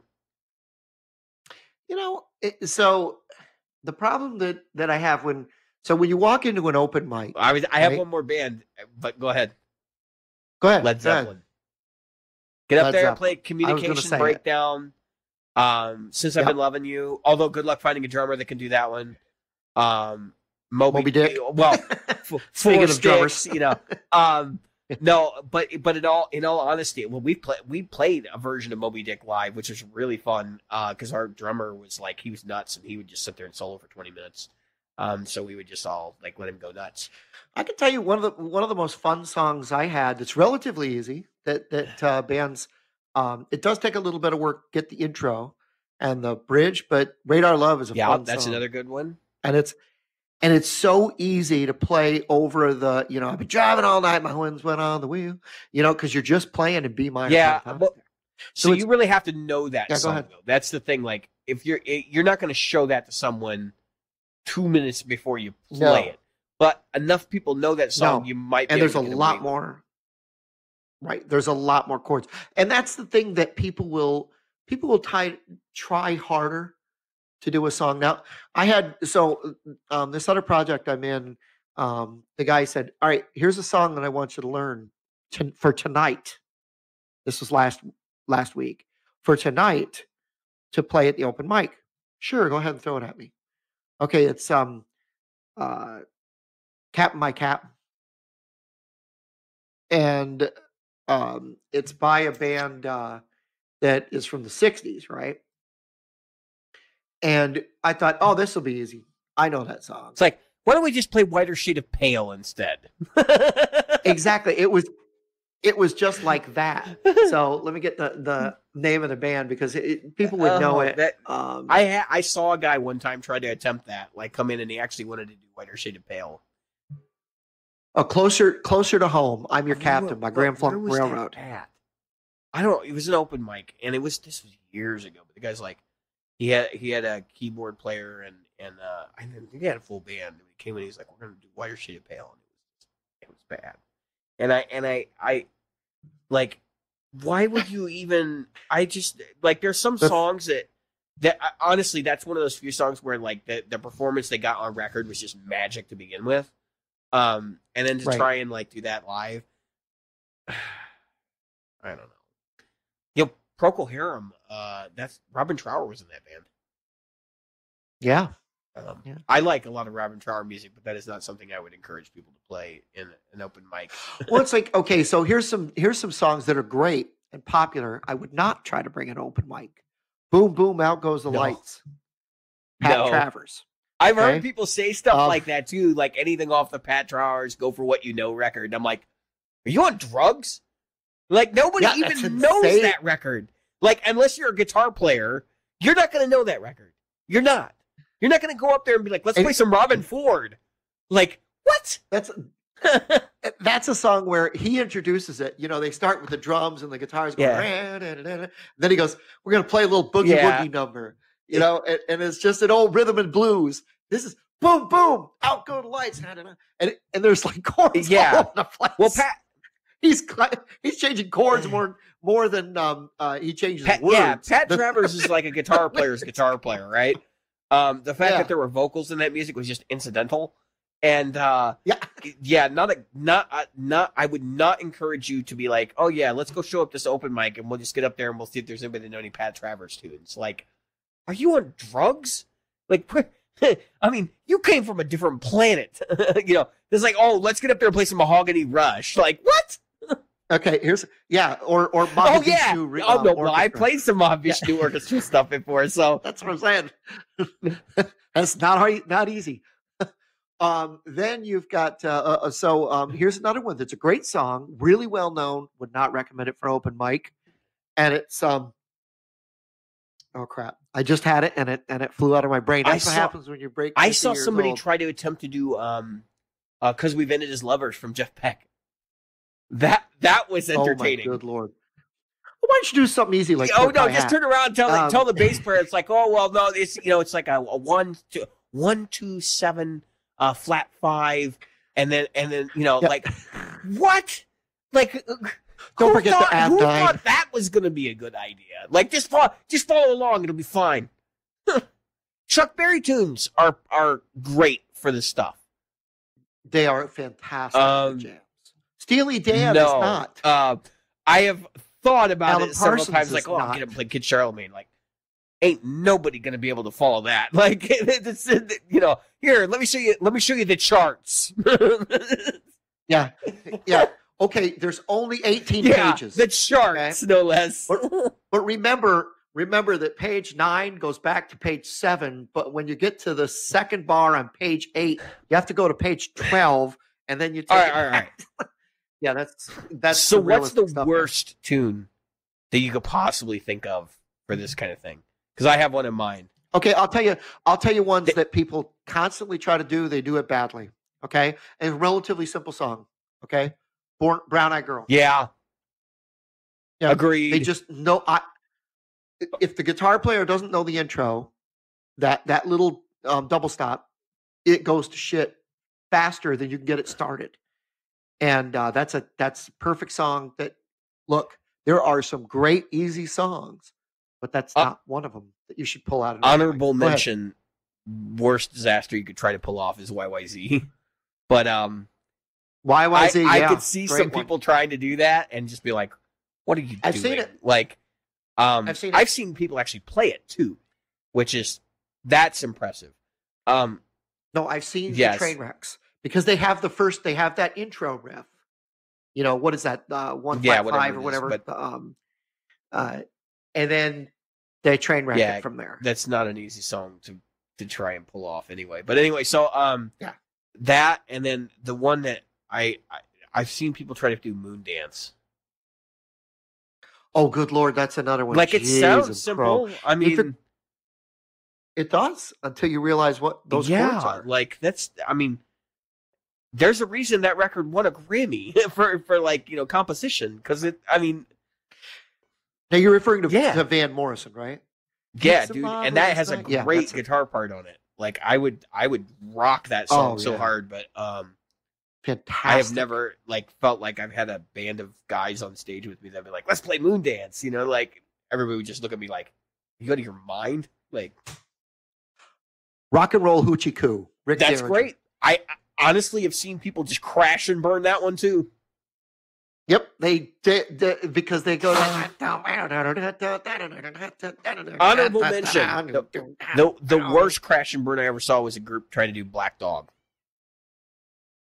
Oh, good lord! You're yeah, talking about I- Zeppelin, my right? worst crash and because of the time signature.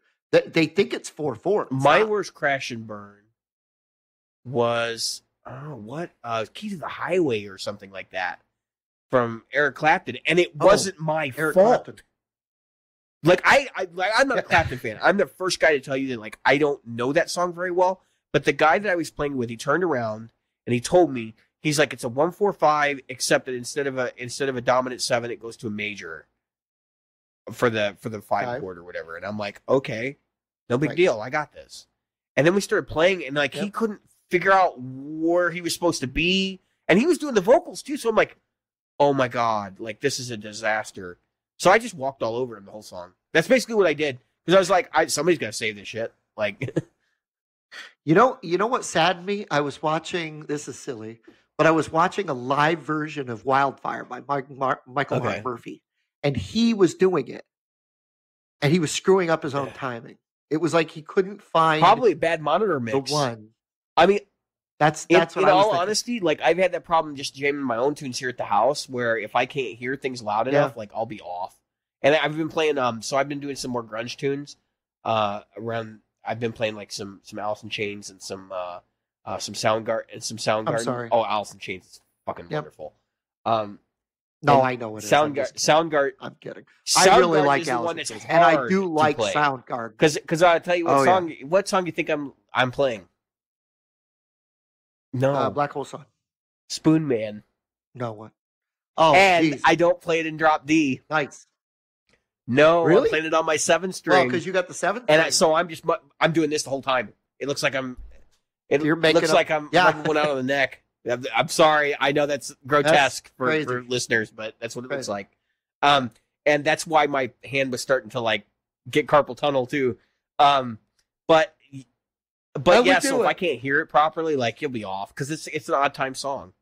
You have your groove your groove That- has to that- be on point to pull that one off. So let's talk about some of that. Like, okay, so we were we were we have already discussed some of the um Boom Boom Out Goes Lights um and uh Rock and Roll Hoochie Coo. Both sound like they're in a straightforward time Black Dog. and they're not. Black Dog, another one What where they have that really weird It's Yeah, it's exactly. like That's what, the freest time yeah. I've This is like here we're gonna have this gap. we're gonna go yeah, we're gonna go four four, but now we're gonna play seven eight or whatever. Not to mention have- the riff is not freaking easy to play. No. It's in all Because of the timing, because of the- groupings and yeah. the counts, all those different counts. It's not in even number counts, and it uh, it sounds like it. That's it. It's uh, what is that? yeah, well, he, right? so he broke play it up. He broke it up one time, and I think what he said was like they had like a one beat in the beginning, and then there was it was four four. So yeah, so it ends Right. up being like nine, but it's but it's weird because Right. yeah. So anyway, um,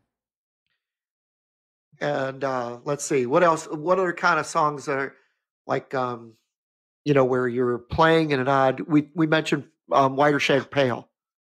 Just like Uh, that's another one that's It's not weird. just the times; it's the chord voicings and stuff are just out there.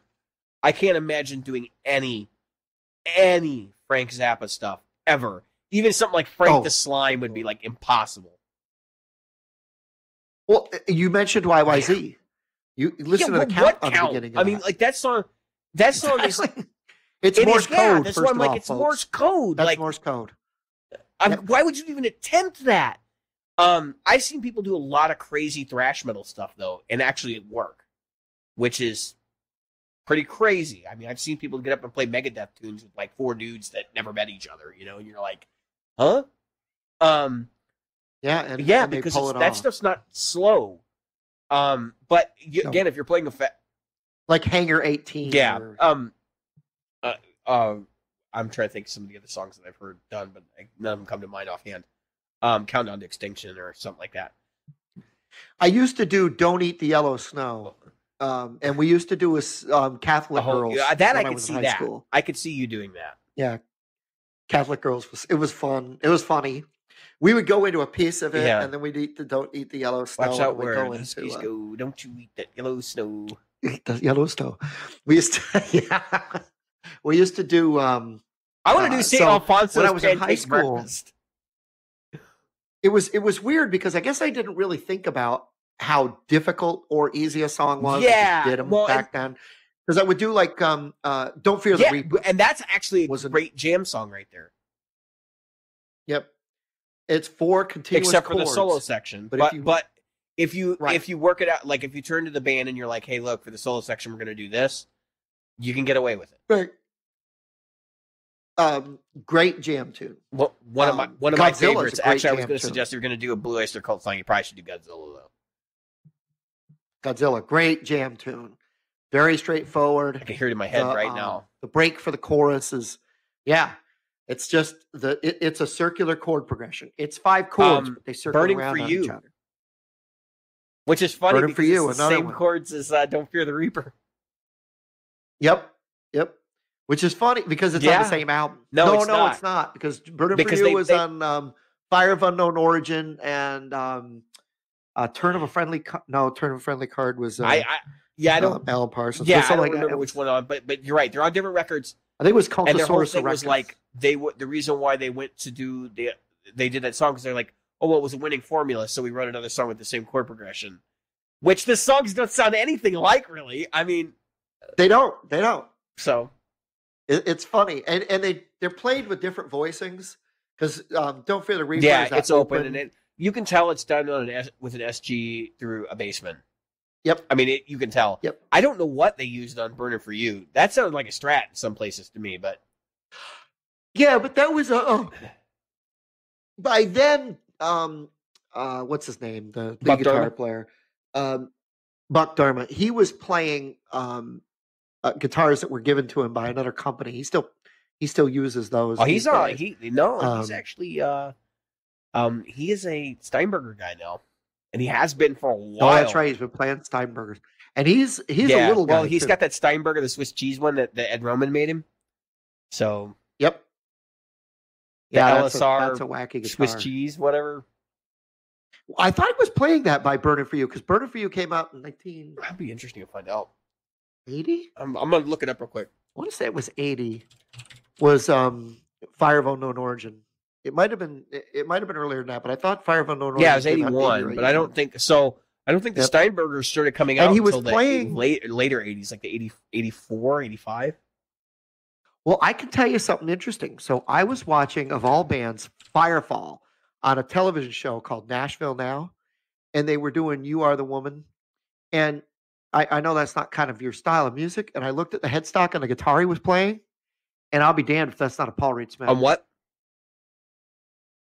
on the guitar that the guy from Firefall was playing. So I'll have to find out. I don't know what year that was that they were on. That would have been like the very beginning of PRS. That would have been like a very early Paris, and it's blue. It's all blue, and it was um, you know, the song is "You Are the Woman That I've Always Dreamed of," and I'm like, geez, that's an old song. I, can't, I don't know what year, but Can we? old song.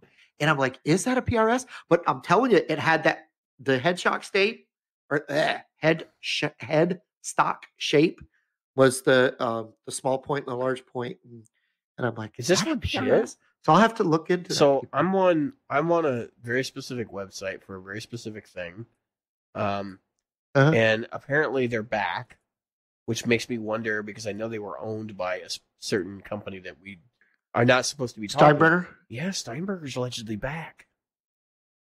Yeah, and they brought back the Yeah, GT what I. Pro, which I don't know Mhm. anything. It looks like it's got a roller I bridge. saw that. I saw that on. I don't remember what. Um, it wasn't uh, Anderton, but it I'm somebody like have to be looking at these again because not because so I had one right, like I had a Spirit right Yeah. by Steinberger, um, Right. and the trem system was so bad that I was like, no, this is not even usable. But if they're coming back and they've done some work on the trem, Yeah. because one of the things was like they had fake roller bridges on them, right? They didn't have rollers. Oof. So in order for that system to work, for that particular style of bridge, it needs to have a roller saddle. Because otherwise the string gets bound up and you have tuning instability issues. Um So you know that I've been looking at a particular guitar recently, and uh, for its lightweight and uh, ease of use, um, from the '90s, uh and there's another one listed in the area. I figured it was No, the same not. one, same color and everything, but it's not. Don't- a different one. don't. Um, There's a lot of reasons why you shouldn't. Super proprietary. I know, I know. That's the one oh, thing. Oh, they're about very those proprietary. They're they're expensive to fix too because if mm-hmm. it's got glued on frets, instead of the set in frets, forget it. For Yep. nobody will even touch it to work on it. You have to send it to like three guys because they, Well, that's why I think they're cool know- guitars. But man, if you have a problem when you're gonna have massive bills to pay. I would love to have one, frankly. I want one of the early ones with the composite board and all that. Jim's talking about Parker, by the way. Um, one of the early ones, like before they started blowing up, because they because they were real popular when I started playing guitar. I remember going to Guitar Center and seeing like six or seven of them hanging up, and people like coming in to get them. You know, um, and I I was like, I dude, these guitars look great. Like in my opinion, I think the body style is like super out there, and it's kind of my thing. Um, but I remember looking at them and just going, you know, as cool as these are, like, I, who knows if there's going to be a market for them? And there isn't one. Like you look at the prices that Jim, I sent you the the eBay prices, the sale, the, the actual sold listings. These things go for peanuts because they're proprietary. Yeah. If anything breaks, you gotta pay. yeah, and so this one's got stainless steel frets. That's Yeah. the only upside. I think they all do. I thought all of them did until yeah. until the later models, when they started doing the the import ones, um, like the mado- mahogany bodied imports or whatever. Um, those were nickel. I wouldn't get an import one anyway. It would be an American made one, but I don't know. I would have to be I, I would have to go in really low on this thing. It would be insulting to even this guy. He's down he's down at 900 and I still be half of that. I'd still offer him like 6 or 5.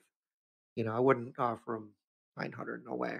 So the uh, Steinberger spirits that are available, I'm looking through the spec sheet. They are, um, still have to use patented double ball, which is stupid. So you have to buy a block to, to be able to bolt to the top so that you can um, put on other strings. They're still using an R trem, um, which the which oh it's fully floating, but the, what they don't tell you is it's not tension adjustable with any degree of like actually being able to be usable. The tension spring on mine was so tight that like I had to like wrench the bar like really hard to get it to bend at all, and it was just it was unusable. Um, so I would not recommend these unless you see one first and you get to actually play it before you buy it. Um, I do not see. I'm looking to find out. So they do have the lock. These are kind of cool because it's a it's a floating bridge, but it has like a thing you flip up and it'll hold the bridge in place. Um, so that you can tune it up and also so that it will lock it in place so that it won't go out of tune when you bend. Um, which basically you're going to need that because you're probably going to want to leave that engaged the whole time. um, and uh, yeah, so I don't know. I this may be the manual for the old one though. So I don't know. I'm looking for a date on this manual somewhere. But anyway, um, oh, and in the bottom of this they have the headpiece adapter, so you can order the part that you will need to make this guitar work permanently. Um, also of note is in the back of this manual is the phone number and email address are for Gibson. How about that, right? Like, who would have thought Gibson owned Steinberger?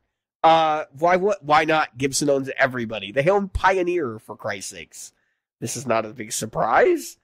Um, so oh, and don't forget to follow them on the Gibson forums.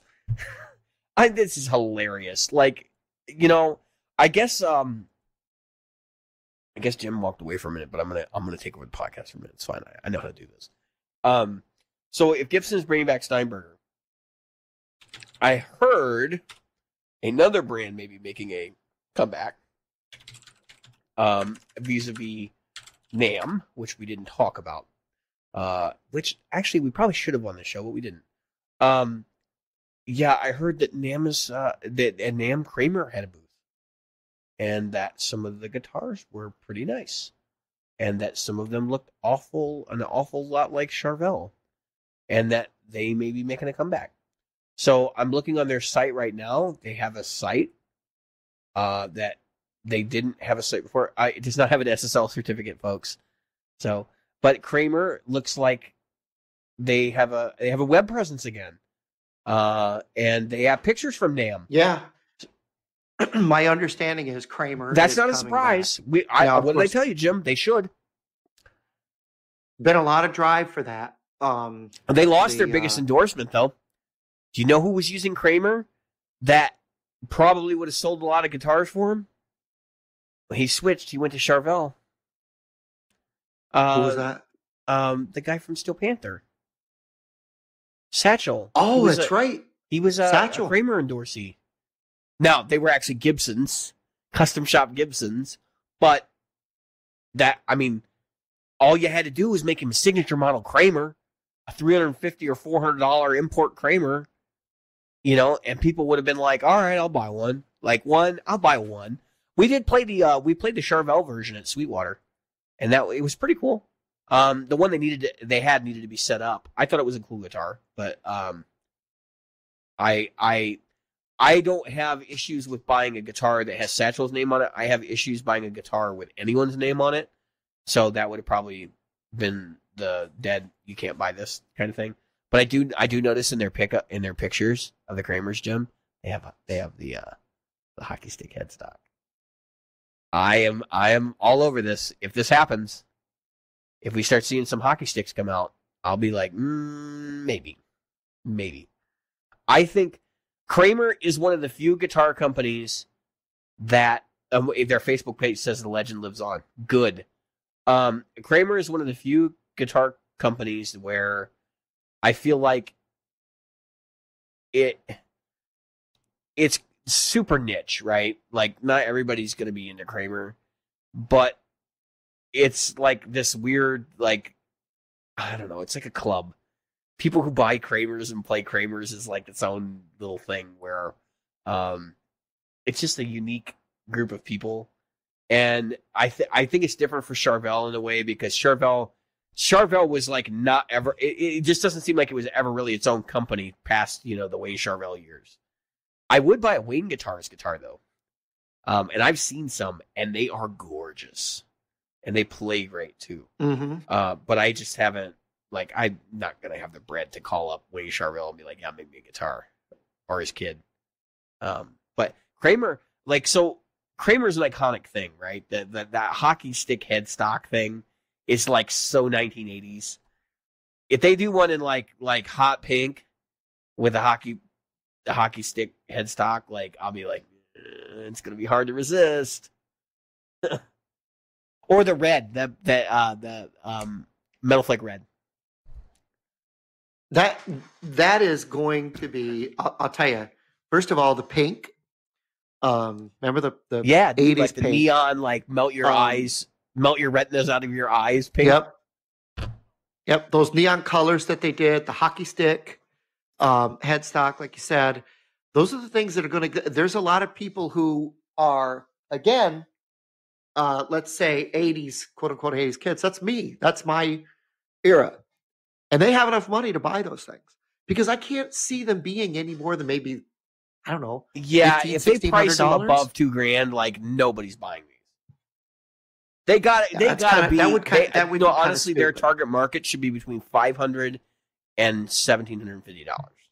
That's where they want to be. Yeah. and um, a range of models from end to end there. Um, now we know that they're this is Kramer Guitars USA, so Gibson's going to be charging out the yin yang for these. So forget right. it. Just just forget about it. Uh, buy well, one on the I'm used hoping market. that. Actually, Yeah, I'd rather just get a real one. You know what we're doing this weekend? I'm going to announce it on the show right now. Um, um, allegedly, we might be doing this this weekend. Kish and I may be going to hunt down some of the new harmonies. Wow. Because Harmony. So, if you, for those of you who don't know, Harmony, Harmony is back. Uh, it is being produced by uh, Music Corp or whatever. What's the name of the company? The company that owns um, Heritage. They just bought Heritage a while back Oh, and they are allegedly really good. That's what I've heard. Um, and they're being pumped out of the Heritage Factory. So I'm kind of looking to see. I'm going to call around and see if we can find a dealer that actually has them. Um, so hopefully we'll be able to find one. There and their their pricing is kind of all over the place. It's not um, it's not uber cheap. A Harmony Silhouette is thirteen hundred bucks. Um, but you know, I hear things like So here's their website, right? I'm digging through right now just because we're talking about the show, just so I can know the model names. And I'm digging through and I'm like, they have a thing that says the world's most cherished musical instrument company. Are you on crack? Like, I'm sorry, Har- I- they're not the world's most cher- cherished musical instrument company, Harmony. Like, who who got up in the morning is like, oh, I'm, man, I really can't wait to play my Harmony. Like, you know, or I can't wait to get my brand new Harmony. What? what? Yeah, Like, exactly. No, Gibson or Fender and or PRS and or maybe Ibanez would be your four most cherished musical instrument companies. Uh, are they suggesting that like, oh, all the harmonies are so good that like they're cherished? I mean, maybe I, I don't know. I this doesn't make any sense. So as I look through here, like they look like the harmonies of yore. They've done a really good job of making a making a model line that looks legit. So they have the Rebel, which is like a double cutaway Les Paul um, sort of deal, kind of like a Revstar. They make a. They've only got three guitars right now. The Silhouette, which is like a Jazzmaster style with uh, gold foil pickups, and then they make a Jupiter, which I would think you would think they would do a Strat style, right? No, the Jupiter is a Les Paul style, single cut. It's a single cut instead of a double cut. Gold foils. Huh. Um, That's interesting because that. and it comes Yeah, with a you'd mon- think these come with a mono case S. too. Which okay, like I get it. Uh you know it's a hard sell for me. I mean I gotta play one before I can say anything. So they're nitro, uh mahogany, C profile, twelve inch radius, ebony. Um they got, you know, your typical colors like, you know, pearl white, black, gold. Um and as I look through here, like they do have uh compensated saddles and all that, and uh the the the big selling point is the mono case, which is kind of silly. Like that's the big selling point. Um, if you're gonna give me like a case as a selling point, give me a hard shell case. Come on. Um, and for for storage, not necessarily for transport, right? Like I get it. Um, and they want thirteen hundred dollars for these. They're made in the states. I mean, I'll give them that, but I mean, it's a hard sell. I'd go buy one of the Supros because you can get those on deals now. I've seen those as low as four hundred bucks, and it has that weird vintage Oh, yeah. vibe, like pickup and all that stuff in it. Why would three bolt necks in these and these Jupiters? I want to go look at the um the silhouette. I want to see what they're getting for that. So this is their uh three bolt neck on the silhouette, of course, mono case, of course. Um, I'm sure it's gonna be nitro finished. It is ebony ebony fretboard on a Jazzmaster. Um, nitro, ten to forty six strings comes with uh gold foil mini humbuckers. That's weird. Um, I guess that I guess it's not that weird.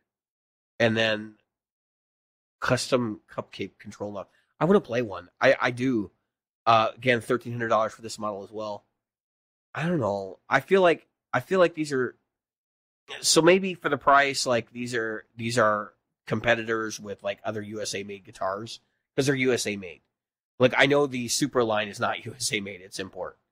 Um, but I just feel like for a weird guitar like this, like I would rather spend thirteen hundred bucks on something that's like USA like standard quality. Like okay, so I'm gonna get a standard Strat, or I'm gonna get a Les Paul standard, or I'm gonna get an SG standard, or I'm gonna get you know one of the common like USA guitars.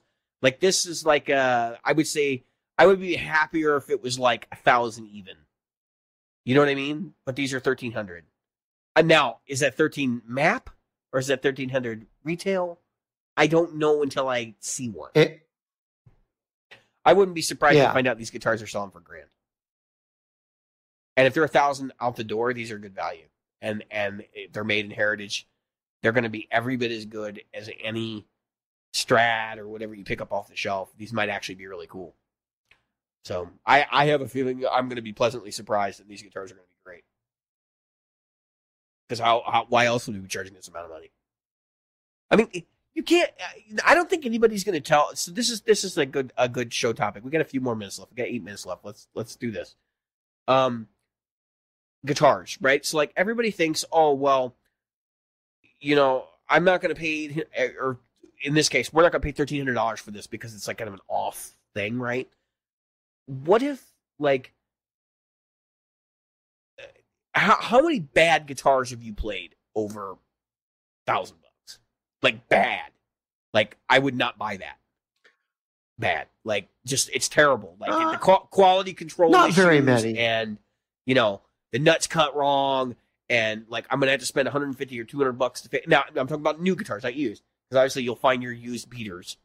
Um, I, I, I, my point here is you've already kind of answered the question, Jim, but um, you're not gonna find like 1300 guitar dollar guitars that suck.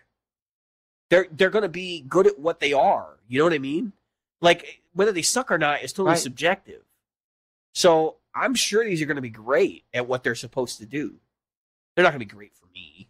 I mean, unless I want to buy like a Suhr Badger and go play blues, you know. Um, which, by the way, I've been using Suhr Badger profiles last couple days. Uh, I don't even, I think it's I think it's a Michael Britt profile. I'm not sure, but um, yeah, Suhr Badger, man, what a great blues amp. Uh, anyway, so that with one of these guitars would be what that would be killer, uh, or a Supro. I actually think the Supros were a good alternative to the SG. Um, when I bought my SG, I was playing a Supro right next to it. I was like, man, these are really cool. It's a tough sell.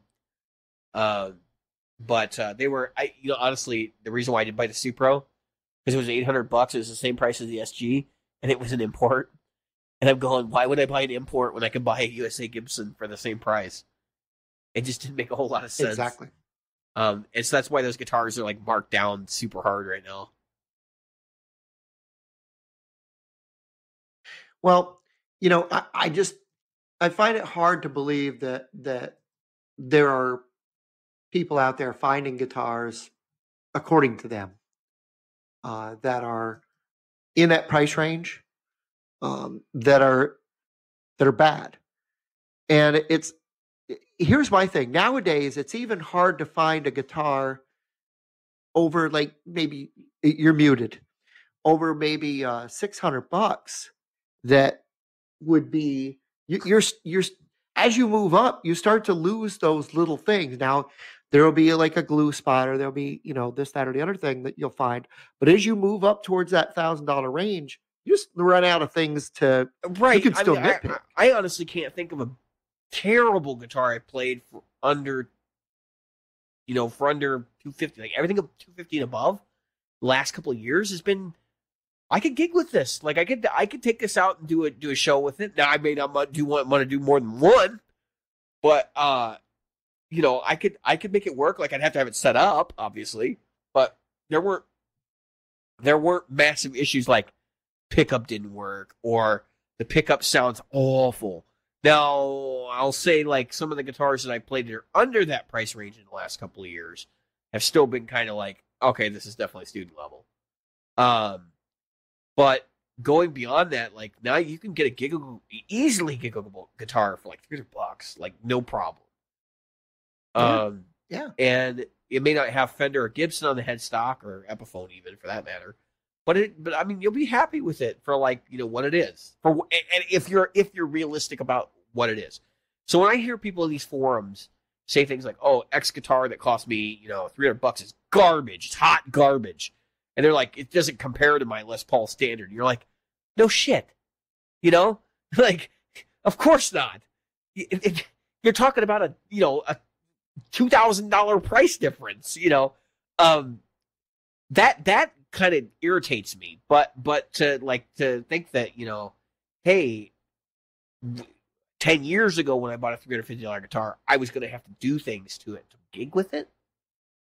You know what I mean? Like Oh, I was going to have to put new pickups in it, or I was going to have to um have you know some sort of severe neck neck adjustment, or I was going to have to put a shim in it, or like that. That's the kind of stuff uh, that that drives me nuts.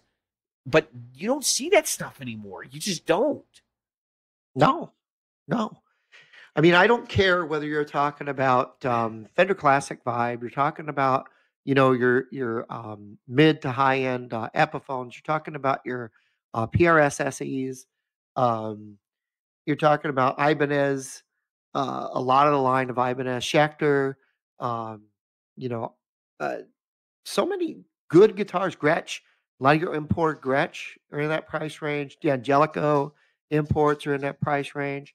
A lot of really good guitars. Uh, guitars. Ibanez RG, like for, for my money right now, there's an RG. Uh, it's got um some sort of a, I know it's a veneer, but it's a it's a what do they call them? A burl veneer. It's a real cheap guitar. I think it's like 350 bucks, and it has a Floyd or something crazy like that. 24 fret, typical RG, deep cutaways. It's Northern Ash, so forewarning, it's heavy. Uh, and I I played a Yeah. couple of them, but man, like if I w- didn't have a guitar, and I you know like for some reason I like went through divorce and all my guitars got sold or something as part of the divorce, like I would just go buy an one of those Ibanez SRGs and do a bunch of gigs to pay for the next guitar, because to be honest with you, like they were it played really well for for a three hundred and fifty dollar guitar, but I can't stress this enough to everyone, like all of our listeners. Look, a three hundred fifty dollar guitar is still a three hundred fifty dollar guitar. Don't buy it thinking, oh, well, this guitar's so great, I'm gonna get more money than what I paid for it. That's not how this works. All that means is Right. it's a good guitar, and that you'll get three hundred bucks Mm. when you sell it. You know what I mean? Like it's just it- Yeah. it just means that that it's a good guitar. So like my my thing is part of the reason why I buy uh higher end instruments is because I've invested in my gear. Like I I continually buy things. I I for lack of a better word flip things, and I try to like let's say I want a new guitar, right? I'll take a couple of old guitars I got. I saw them. You guys all know this. You've you've been listening to the show long enough. You you guys and girls, I've been listening to the show long enough to know that you know that's how I am. Um, and Jim's done the same things. So like for me, I don't really want to back up in value. I'd rather throw another hundred dollars into the equation to get me into something nicer because I'm always going to have a nice guitar. Like you know what I mean? Like I'll just trade up. But if I was, but if I was like really budget conscious, which uh, obviously I have my problems because I'm not budget conscious, uh, I would totally go buy a three hundred fifty dollar Ibanez, um, and I might, I might do that for the show. Uh, actually, I already did. You remember how that went, Jim? Can you can you talk about the uh, yeah, the two that hundred didn't go so I well. Yeah, The uh, I was so ecstatic when that thing sold, man. I literally jumped up and kicked my heels together. It was crazy. And then I broke my ankle on the way down. Oh no, wait, that was you. You broke Yeah. your ankle on the way down no. because that was lit. I You broke broke, you hurt your ankle, broke it, whatever. On the same day that I sold that guitar, That's that. I got I, one thing went out, and That's then that happened to incredibly you, and I was like, somebody's got to get the curse. Like it can't be me. Um, so yeah, thanks. But no, uh yeah, I was so happy. And then like I expected the guy to like send me a message after he bought it and be like, "You sold me a piece of crap." I Like, hate you. dude. It's totally I'm gonna find Like, you. I, I even messaged. I reached out to him. I was like, "Yeah, everything cool with the guitar? Like, I know it's got a lot of problems, and like I wanted to try to be as upfront." And then and he's like, "No, it's fine." He's like, "I'm I'm gonna fix it up," and I'm like, "Great, no problem then." So, Awesome. um, awesome. whatever. I no no no issue with me whatsoever. You know the funny part, Jim? I bought it from a guy in Yeah. Texas. Guess where it went to? Guy in you Texas sold it to a guy on in the Texas. other side of the same town. I You wonder if me. it was the same dude. Because because. I bought it from the guy and then when I shipped it back to his address that he had listed in eBay, he never picked it up. It got rejected and sent back to me. Which means he's no longer living at the address he set up on his eBay account. So that might indicate that the same guy bought the guitar Huh. back.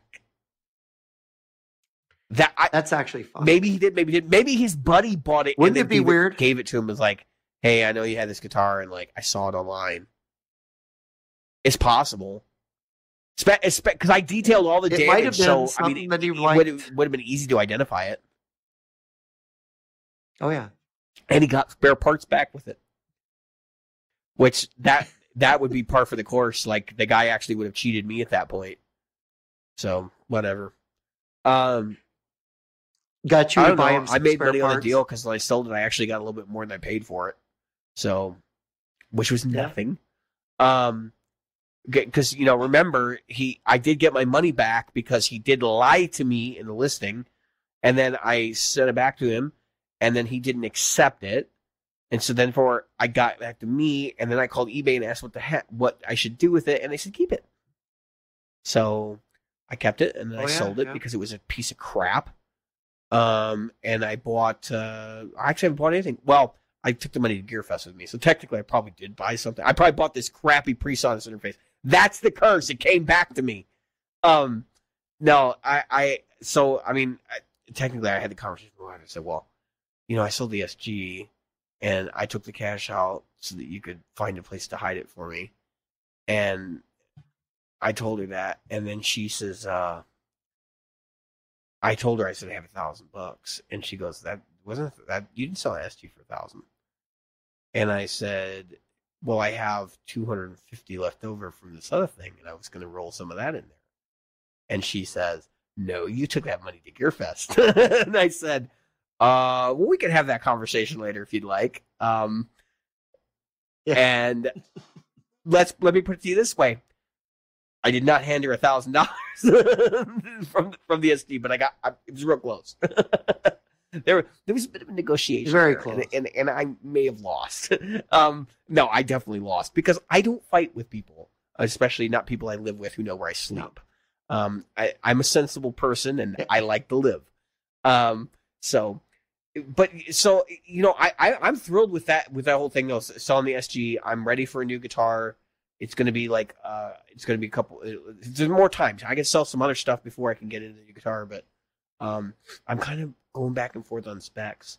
And I'll and I'll spill the beans. I was gonna get um, I was gonna get Osiris, which is their headless Strat style guitar, but I was gonna get it purple with flame maple, gold pickup covers, with black pickup screws, black bridge. So it would be a royal guitar, and it would have a gold drop leaf logo on it. So it would be purple, brown, and gold. And then I was gonna get uh baked maple, um, bird's eye board, and regular baked baked baked maple neck.